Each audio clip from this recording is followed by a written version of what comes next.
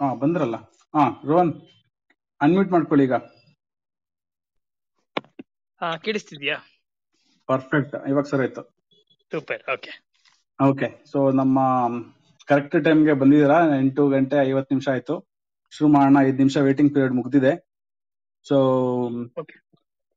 ಯಾ so ನಾವು usually ಎಂಟು ಗಂಟೆಗೆ ನಮ್ಮ ಕಾರ್ಯಕ್ರಮನ ಆಮ್, ಶುರು ಮಾಡ್ತಾ ಇದ್ವಿ. ರೋಹನ್ ಬೇರೆ ಏನೇನೋ ಕ್ಲಾಸ್ ಇದ್ದಿದ್ರಿಂದ ಆ ಸ್ವಲ್ಪ ತಡವಾಗಿ ಕಾರ್ಯಕ್ರಮ ಶುರು ಮಾಡೋಣ ಅಂತ ಕೇಳ್ಕೊಂಡ್ರು. ಹಂಗಾಗಿ ಮುಕ್ಕಾಲು ಗಂಟೆ ತಡವಾಗಿ ಕಾರ್ಯಕ್ರಮ ಶುರು ಮಾಡ್ತಾ ಇದೀವಿ okay. So madam Bhagavathi madam ಶುರು ಮಾಡೋಣ ಓಕೆ. ನಾನು ನಮ್ಮ ಕಾರ್ಯಕ್ರಮದ ಸ್ವರೂಪ ಹೇಳ್ಬಿಡ್ತೀನಿ. ಸೊ ಮೊದಲಿಗೆ ಕ್ಲಬ್ನ ಆಶಯ ಮತ್ತೆ ಆಯೋಜಕರ ಪರಿಚಯ ಮಾಡ್ತೀವಿ. ನಂತರ ಸ್ವಾಗತ ಇರುತ್ತೆ. ಪದ್ಯ ಪದ್ಯ ಓದೋದ್ರ ಮುಖಾಂತರ ಕಾರ್ಯಕ್ರಮನ ಶುರು ಮಾಡ್ತೀವಿ. ಆ, ನಂತರ ಅತಿಥಿ ಪರಿಚಯ, ಸಂವಾದ, ಚಿತ್ರ ಸಂವಾದ ಮತ್ತು ಸಾರ್ವಜನಿಕ ಸಂವಾದ. ಇದು ನಮ್ಮ ಒಟ್ಟು ಕಾರ್ಯಕ್ರಮದ ರೂಪರೇಷೆ. ಮೊದಲಿಗೆ ಈಗ ನಮ್ಮ ಭಗವತಿ ಮೇಡಮ್ ಅವರು ನಮ್ಮ ಕ್ಲಬ್ನ ಆಶಯ ಮತ್ತೆ ಆಯೋಜಕರ ಪರಿಚಯ ಮಾಡ್ತಾರೆ. Madam over to you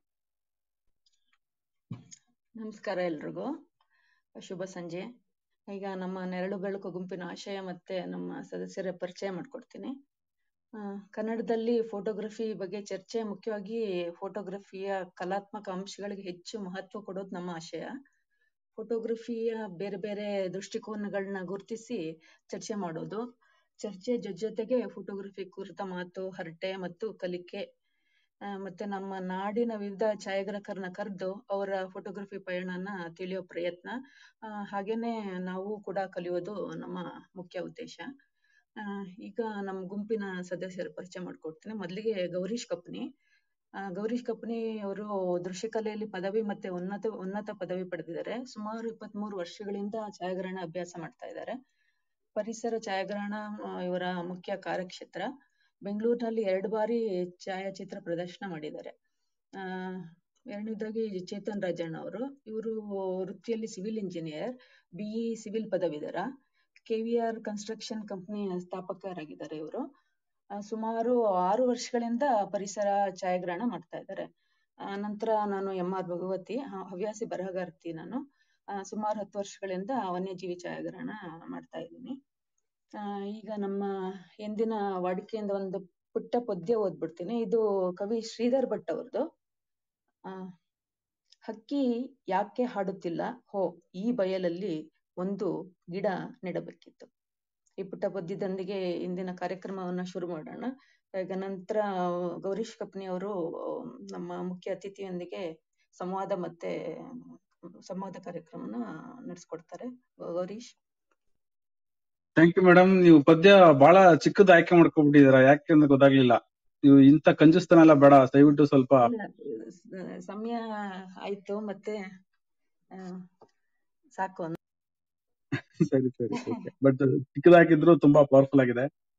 thank you okay so ಈಗ ನಮ್ಮ ಈ ವಾರದ ಅತಿಥಿ ರೋಹನ್ ಶಾಂಡಿಲ್ಯ.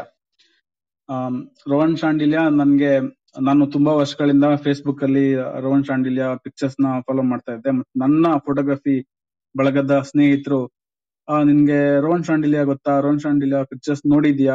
ನೋಡು ತುಂಬಾ ಚೆನ್ನಾಗಿದೆ ಹಾಗೆ ಅಂತ ಹೇಳ್ತಾ ಇದ್ರು. ಬಟ್ ನಾನು ಯಾವತ್ತೂ ರೋಹನ್ ಶಾಂಡಿಲ್ಯನ ಭೇಟಿ ಆಗಿರ್ಲಿಲ್ಲ.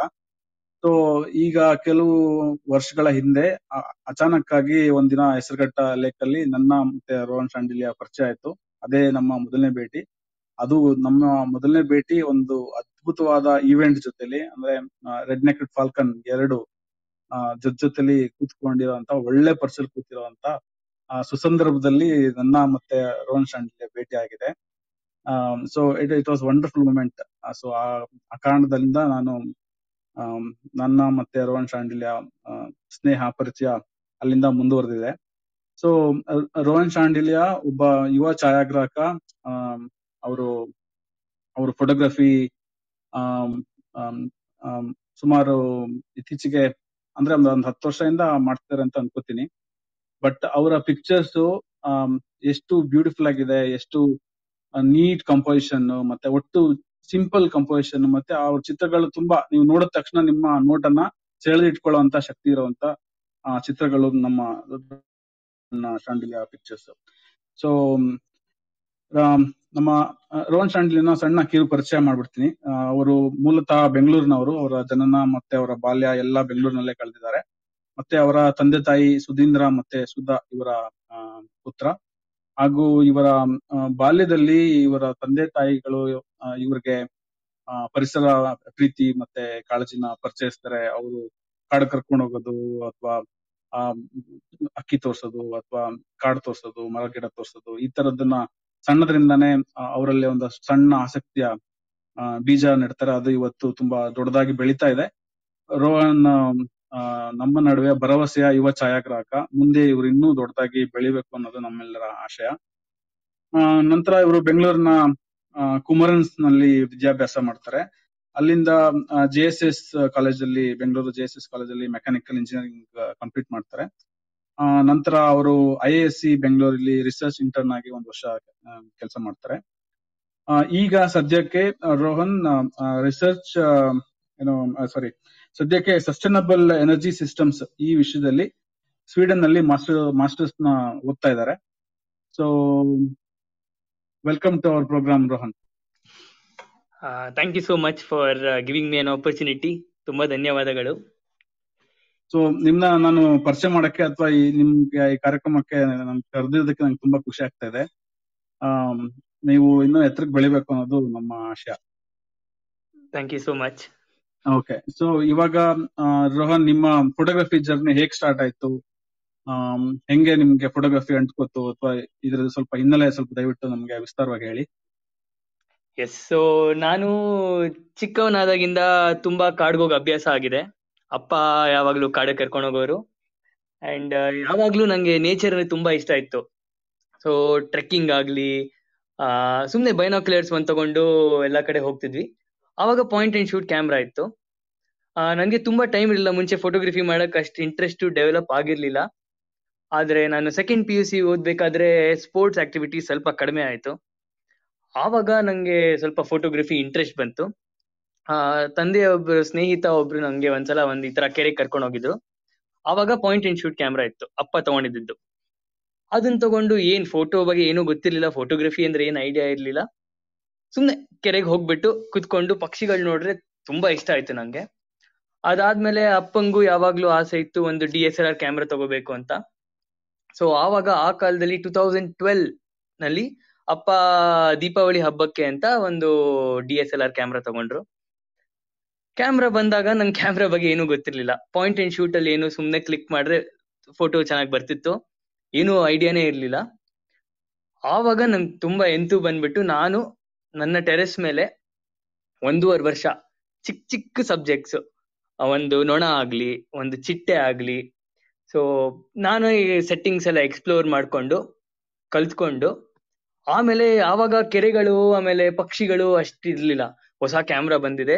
ಫಸ್ಟ್ ಇರೋ, ಅಕ್ಕಪಕ್ಕ ಇರೋ ಫೋಟೋ ತೆಗಿಬೇಕು ಅಂತ ತುಂಬಾ ಆಸೆ ಆಗ್ಬಿಟ್ಟು ಆತರ ಪ್ರಾಕ್ಟೀಸ್ ಮಾಡ್ತಿದ್ದೆ.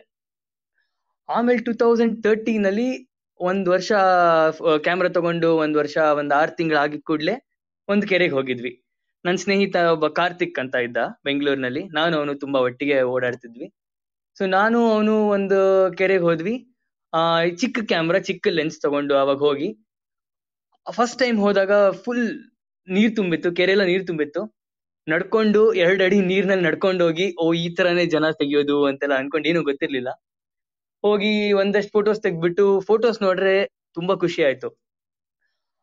ಹಂಗೆ ಪ್ರಾಕ್ಟೀಸ್ ಮಾಡ್ತಾ ಮಾಡ್ತಾ ಒಂದ್ ಟ್ವೆಂಟಿ ಫೋರ್ಟೀನ್ ಟ್ವೆಂಟಿ ಫಿಫ್ಟೀನ್ನಲ್ಲಿ ಸ್ವಲ್ಪ ಓಕೆ ರ್ಯಾಪ್ಟರ್ಸ್ ದೊಡ್ಡ ಬರ್ಡ್ಸ್ ಅಂದ್ರೆ ಏನು ಅಂತ ಒಂದ್ ಐಡಿಯಾ ಬಂತು. ಬರೀ ಕೈಟು ಬ್ರಾಹ್ಮಿ ಕೈಟ್ ಅಂತ ನೋಡ್ತಿದ್ವಿ. ಒಂದ್ಸಲ ಪಕ್ಷಿ ನೋಡಿ ಆಮೇಲೆ ಆಗ ಬೆಂಗಳೂರಿನಲ್ಲಿ ತುಂಬಾ ಜನ ಫೋಟೋಗ್ರಾಫರ್ಸ್ ಇದ್ರು ರ್ಯಾಪ್ಟರ್ಸ್ ತೆಗಿರೋರು. ನೋಡ್ಬಿಟ್ಟು ನನ್ಗೆ ಅನ್ಸ್ತು ಈ ತರ ಫೋಟೋ ತೆಗಿಬೇಕು ಅಂದ್ರೆ ಈಸಿ ಅಲ್ಲ. ಸ್ವಲ್ಪ ಎಫರ್ಟ್ ಹಾಕ್ಬೇಕು. And wildlife photography any genre ಅಲ್ಲಿ ಮೇನ್ ಇಂಪಾರ್ಟೆಂಟ್ ಥಿಂಗ್ ಅಂದ್ರೆ ತಾಳ್ಮೆ ಇರಬೇಕು. ಸೊ ಲಕ್ಕಿಲಿ ನಂಗೆ ತಾಳ್ಮೆ ಇತ್ತು. ಸೊ ನಾವು ಸ್ಟಾರ್ಟ್ ಮಾಡಿದ ಹೆಂಗೆ ಅಂದ್ರೆ ಸ್ಟಾರ್ಟಿಂಗ್ ಅಲ್ಲೇ ನಮ್ಗೆ ಇಮೇಜ್ ಬೇಕು ಅಥವಾ ಫೋಟೋ ತೆಗಿಬೇಕು ಅಲ್ಲ. ಸೊ ಫಸ್ಟ್ ಪಕ್ಷಿನ ಅರ್ಥ ಮಾಡ್ಕೊಳ್ಳೋದು. ಪಕ್ಷಿ ಅರ್ಥ ಮಾಡ್ಕೊಂಡಾದ್ಮೇಲೆ ಅದು ಹೇಗಿದೆ ಬಿಹೇವಿಯರ್ ಅದು ಏನ್ ಹ್ಯಾಬಿಟ್ಯಾಟು ಒಂದಷ್ಟು ಆನ್ಲೈನ್ ನೋಡಿ ಪುಸ್ತಕಗಳು ಓದಿ, ಎಲ್ಲ ನೋಡಿ ಅರ್ಥ ಮಾಡ್ಕೊಂಡು ಸೊ ಟ್ವೆಂಟಿ ಟ್ವೆಂಟಿ ಫಿಫ್ಟೀನ್ನಲ್ಲಿ ಸೀರಿಯಸ್ ಆಗಿ ಸ್ಟಾರ್ಟ್ ಮಾಡಿದ್ದು. ಪಕ್ಷಿಗಳು ರಾಪ್ಟರ್ಸ್ನ ಹೆಂಗ್ ಟ್ರ್ಯಾಕ್ ಮಾಡೋದು, ಯಾವ ಸೀಸನ್ ಯಾವ ಪಕ್ಷಿ ಬರುತ್ತೆ ಅಂಡ್ ಬರೀ ರಾಪ್ಟರ್ಸ್ ಅದು ಕನ್ಫೈನ್ಡ್ ಆಗಿರ್ಲಿಲ್ಲ. ಪುಟ್ ಬರ್ಡ್ಸ್ ಸ್ಮಾಲ್ ಸಾಂಗ್ ಬರ್ಡ್ಸ್ ಚಿಕ್ಕ ಪಕ್ಷಿಗಳನ್ನು ತುಂಬಾ ಟ್ರ್ಯಾಕ್ ಮಾಡ್ತಿದ್ವಿ ಅಂಡ್ ಎಲ್ಲ ಅರ್ಥ ಮಾಡ್ಕೋತಿದ್ವಿ. ಆಮೇಲೆ ಇಂಜಿನಿಯರಿಂಗ್ ಫಸ್ಟ್ ಇಯರ್ ನಾನು ಇಂಜಿನಿಯರಿಂಗ್ ಸೇರಿದಾಗ, ಮನೇಲಿ ಕೇಳಿದ್ರು ಇದರ್ ಬೈಕ್ ತಗೋ, ಇಲ್ಲಾಂದ್ರೆ ಕ್ಯಾಮೆರಾ ಏನಾದ್ರು ತಗೊಳಂಗಿದ್ರೆ ತಗೋ ಅಂತ. ನನ್ಗೆ ಬೈಕ್ ಎಲ್ಲ ಇಂಟ್ರೆಸ್ಟ್ ಇರ್ಲಿಲ್ಲ. ಸೊ ಅವ್ರು ಕೇಳಿದ ಕೂಡ್ಲೆ ಆಯ್ತು ಅಂದ್ಬಿಟ್ಟು, ಆವಾಗ ಅಪ್ಪ ಲೆನ್ಸ್ ಕೊಡ್ಸಿದ್ರು ಒಂದು ಚೆನ್ನಾಗಿರೋ two hundred five hundred lens first lens ಅದು, ಆ ಬರ್ಡಿಂಗ್ಗೆ ಆವಾಗಿಂದ ನನ್ಗೆ ಟೂ ಇಯರ್ಸ್ ನಾನು ಅದ್ರ ಮುಂಚೆ ಏನು ಪಕ್ಷಿಗಳನ್ನ ಸ್ಟಡಿ ಮಾಡಿ ನಾಲೆಜ್ ಎಲ್ಲ ಕಲ್ತಿದ್ನೋ, ಅದನ್ನ ಅಪ್ಲೈ ಮಾಡಿ ರೆಗ್ಯುಲರ್ ಆಗಿ ವಿಸಿಟ್ ಮಾಡಕ್ ಸ್ಟಾರ್ಟ್ ಮಾಡಿ. ಸೊ ಹಂಗ್ ಬೆಳ್ದಿರೋದು. ಅಲ್ಲಿಂದ ಸ್ಟಾರ್ಟ್ ಆಗಿರೋ ಜರ್ನಿ ಸೂಪರ್ ರಾಮ್ ನೀವು ಈ ತರ ಶುರು ಜರ್ನಿನಲ್ಲಿ ನೀವ್ ಯಾರಾದ್ರೂ ನಿಮ್ಗೆ ಗೈಡ್ ಇದ್ರ? ಅಥವಾ ಯಾರತ್ರನಾದ್ರೂ ಕಲ್ತ್ಕೊಂಡ್ರ? ಅಥವಾ ನೀವೇ ಸ್ವಂತ ಅಲ್ಲಿ ಓದ್ಕೊಂಡು ನೋಡ್ಕೊಂಡು ಕಲ್ತಿದ್ದ? ಆಕ್ಚುಲಿ ಯಾರು ಗೈಡ್ ಅಂತ ಇರ್ಲಿಲ್ಲ ಸೊ ನಾನೆಲ್ಲ ಯೂಟ್ಯೂಬ್ ಅಲ್ಲಿ ನೋಡಿ from photography and photo processing ಎಲ್ಲ ಯೂಟ್ಯೂಬ್ ಇಂದಾನೆ ಕಲ್ತಿದ್ದು. ಅಂಡ್ ನಾನು ಮುಂಚೆ ಮೆನ್ಷನ್ ಮಾಡ್ದಂಗೆ ಟೆರೆಸ್ ಮೇಲೆ ಸ್ವಲ್ಪ ಸೆಟ್ಟಿಂಗ್ಸ್ ಎಲ್ಲ ಆಟ ಆಡಿ ಡೆಪ್ತ್ ಆಫ್ ಫೀಲ್ಡ್ ಅಂದ್ರೆ ಏನು ಹೆಂಗೆ ಹೆಂಗ್ ಬರುತ್ತೆ? ಸೊ ಬರೀ ಎಲ್ಲರೂ ಹೇಳ್ತಾರೆ I S O shutter speed technical ಹೇಳ್ತಾರೆ. ಆದ್ರೆ ಅದ್ ಬಿಟ್ಟು ತುಂಬಾ ಇದೆ ನಿಮ್ಗೆ. ಲೈಟಿಂಗ್ ಹೆಂಗೆ, ಯಾವ್ದು ಬೇರೆ ಬೇರೆ ಲೈಟಿಂಗ್ ಹೆಂಗ್ ಅಫೆಕ್ಟ್ ಆಗುತ್ತೆ? ಆ ಸೊ ಎಲ್ಲ ನಾನೇ ಆನ್ ಮೈ ಓನ್ ಕಲ್ತಿರೋದು. ಗ್ರೇಟ್ ಈ ಈ ಹೊಸ ತಲೆಮಾರಿನ ಅಡ್ವಾಂಟೇಜ್ ಏನು ಅಂತಂದ್ರೆ ಯೂಟ್ಯೂಬ್ ನಿಮ್ಗೆ ಎಲ್ಲಾ ತರದ್ದು ನಾಲೆಡ್ಜ್ನ ಅಥವಾ ಇನ್ಫಾರ್ಮೇಶನ್ಸ್ನ ಸರಳವಾಗಿ ಕೊಡುತ್ತೆ. ಅಂದ್ರೆ ನಮ್ಗೆ ಅದನ್ನ ಜೀರ್ಣಿಸ್ಕೊಳ್ಳೋ ಅಂತ ಅಥವಾ ಅದನ್ನ ಹುಡ್ಕೊಂಡ್ ಹುಡ್ಕೊಂಡು ನಮ್ಗೆ ಏನ್ ಬೇಕೋ ಅದು ತಗೊಳ್ಳೋಂಥದ್ದನ್ನ ಶಕ್ತಿ ಇರ್ಬೇಕು ಅಥವಾ ಅಷ್ಟು ನಮ್ಗೆ ಇದ್ರೆ ಸಾಕು. ಯೂಟ್ಯೂಬ್ ಅಲ್ಲಿ ನಮ್ಗೆ. ಇವತ್ತು ಯೂಟ್ಯೂಬ್ ನೇ ದೊಡ್ಡ ದೊಡ್ಡ ಗುರು. ಸೊ ನಾವು ಫೋಟೋಗ್ರಫಿ ಶುರು ಮಾಡಿದ ಕಾಲದಲ್ಲಿ ನಾವು ಗುರು ಶಿಷ್ಯ ಪರಂಪರೆಯಿಂದ ಬಂದಿರೋಂಥವ್ರು. ಸೊ ನಮಗೊಬ್ರು ಗುರು ಇರ್ತಿದ್ರು. ಅವರಿಂದ ನಾವು, ಆ, ಶಾಸ್ತ್ರಬದ್ಧವಾಗಿ ಅಥವಾ ಅವ್ರ ಹಿಂದೆ ತಿರುಗಾಡ್ಕೊಂಡು ದಯವಿಟ್ಟು ಹೇಳ್ಕೊಡಿ ಅನ್ಕೊಂಡು ಅಥವಾ ಅವರ ಸಮಯ ನೋಡ್ಕೊಂಡು ನಾವು ಫೋಟೋಗ್ರಫಿ ಕಲ್ತಿರೋಂತ ಅಥವಾ ಕಲಿಯುವಂತ ಕಾಲಘಟ್ಟದಿಂದ ಬಂದ, ಬಂದಿರೋದ್ರಿಂದ ಸೊ ಇವತ್ತಿನ ಹುಡುಗರ ಅಡ್ವಾಂಟೇಜಸ್ ಬೇರೆ. ಅದಕ್ಕೆ ರೋನ್ ರೋಹನ್ ಒಂದು ಸಣ್ಣ ಉದಾಹರಣೆ. ಓಕೆ ನೆಕ್ಸ್ಟ್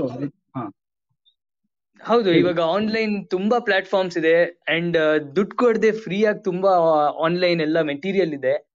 ಹುಡುಕ್ಬಿಟ್ಟು ನಾವು ಸಮಯ ಮಾಡ್ಕೊಂಡು ಕಲಿಯೋದು ತುಂಬಾ ಇಂಪಾರ್ಟೆಂಟ್ ನಿಜ ನಿಜ. ಇವತ್ತು ಯೂಟ್ಯೂಬೇ ಪರಮ ಗುರು.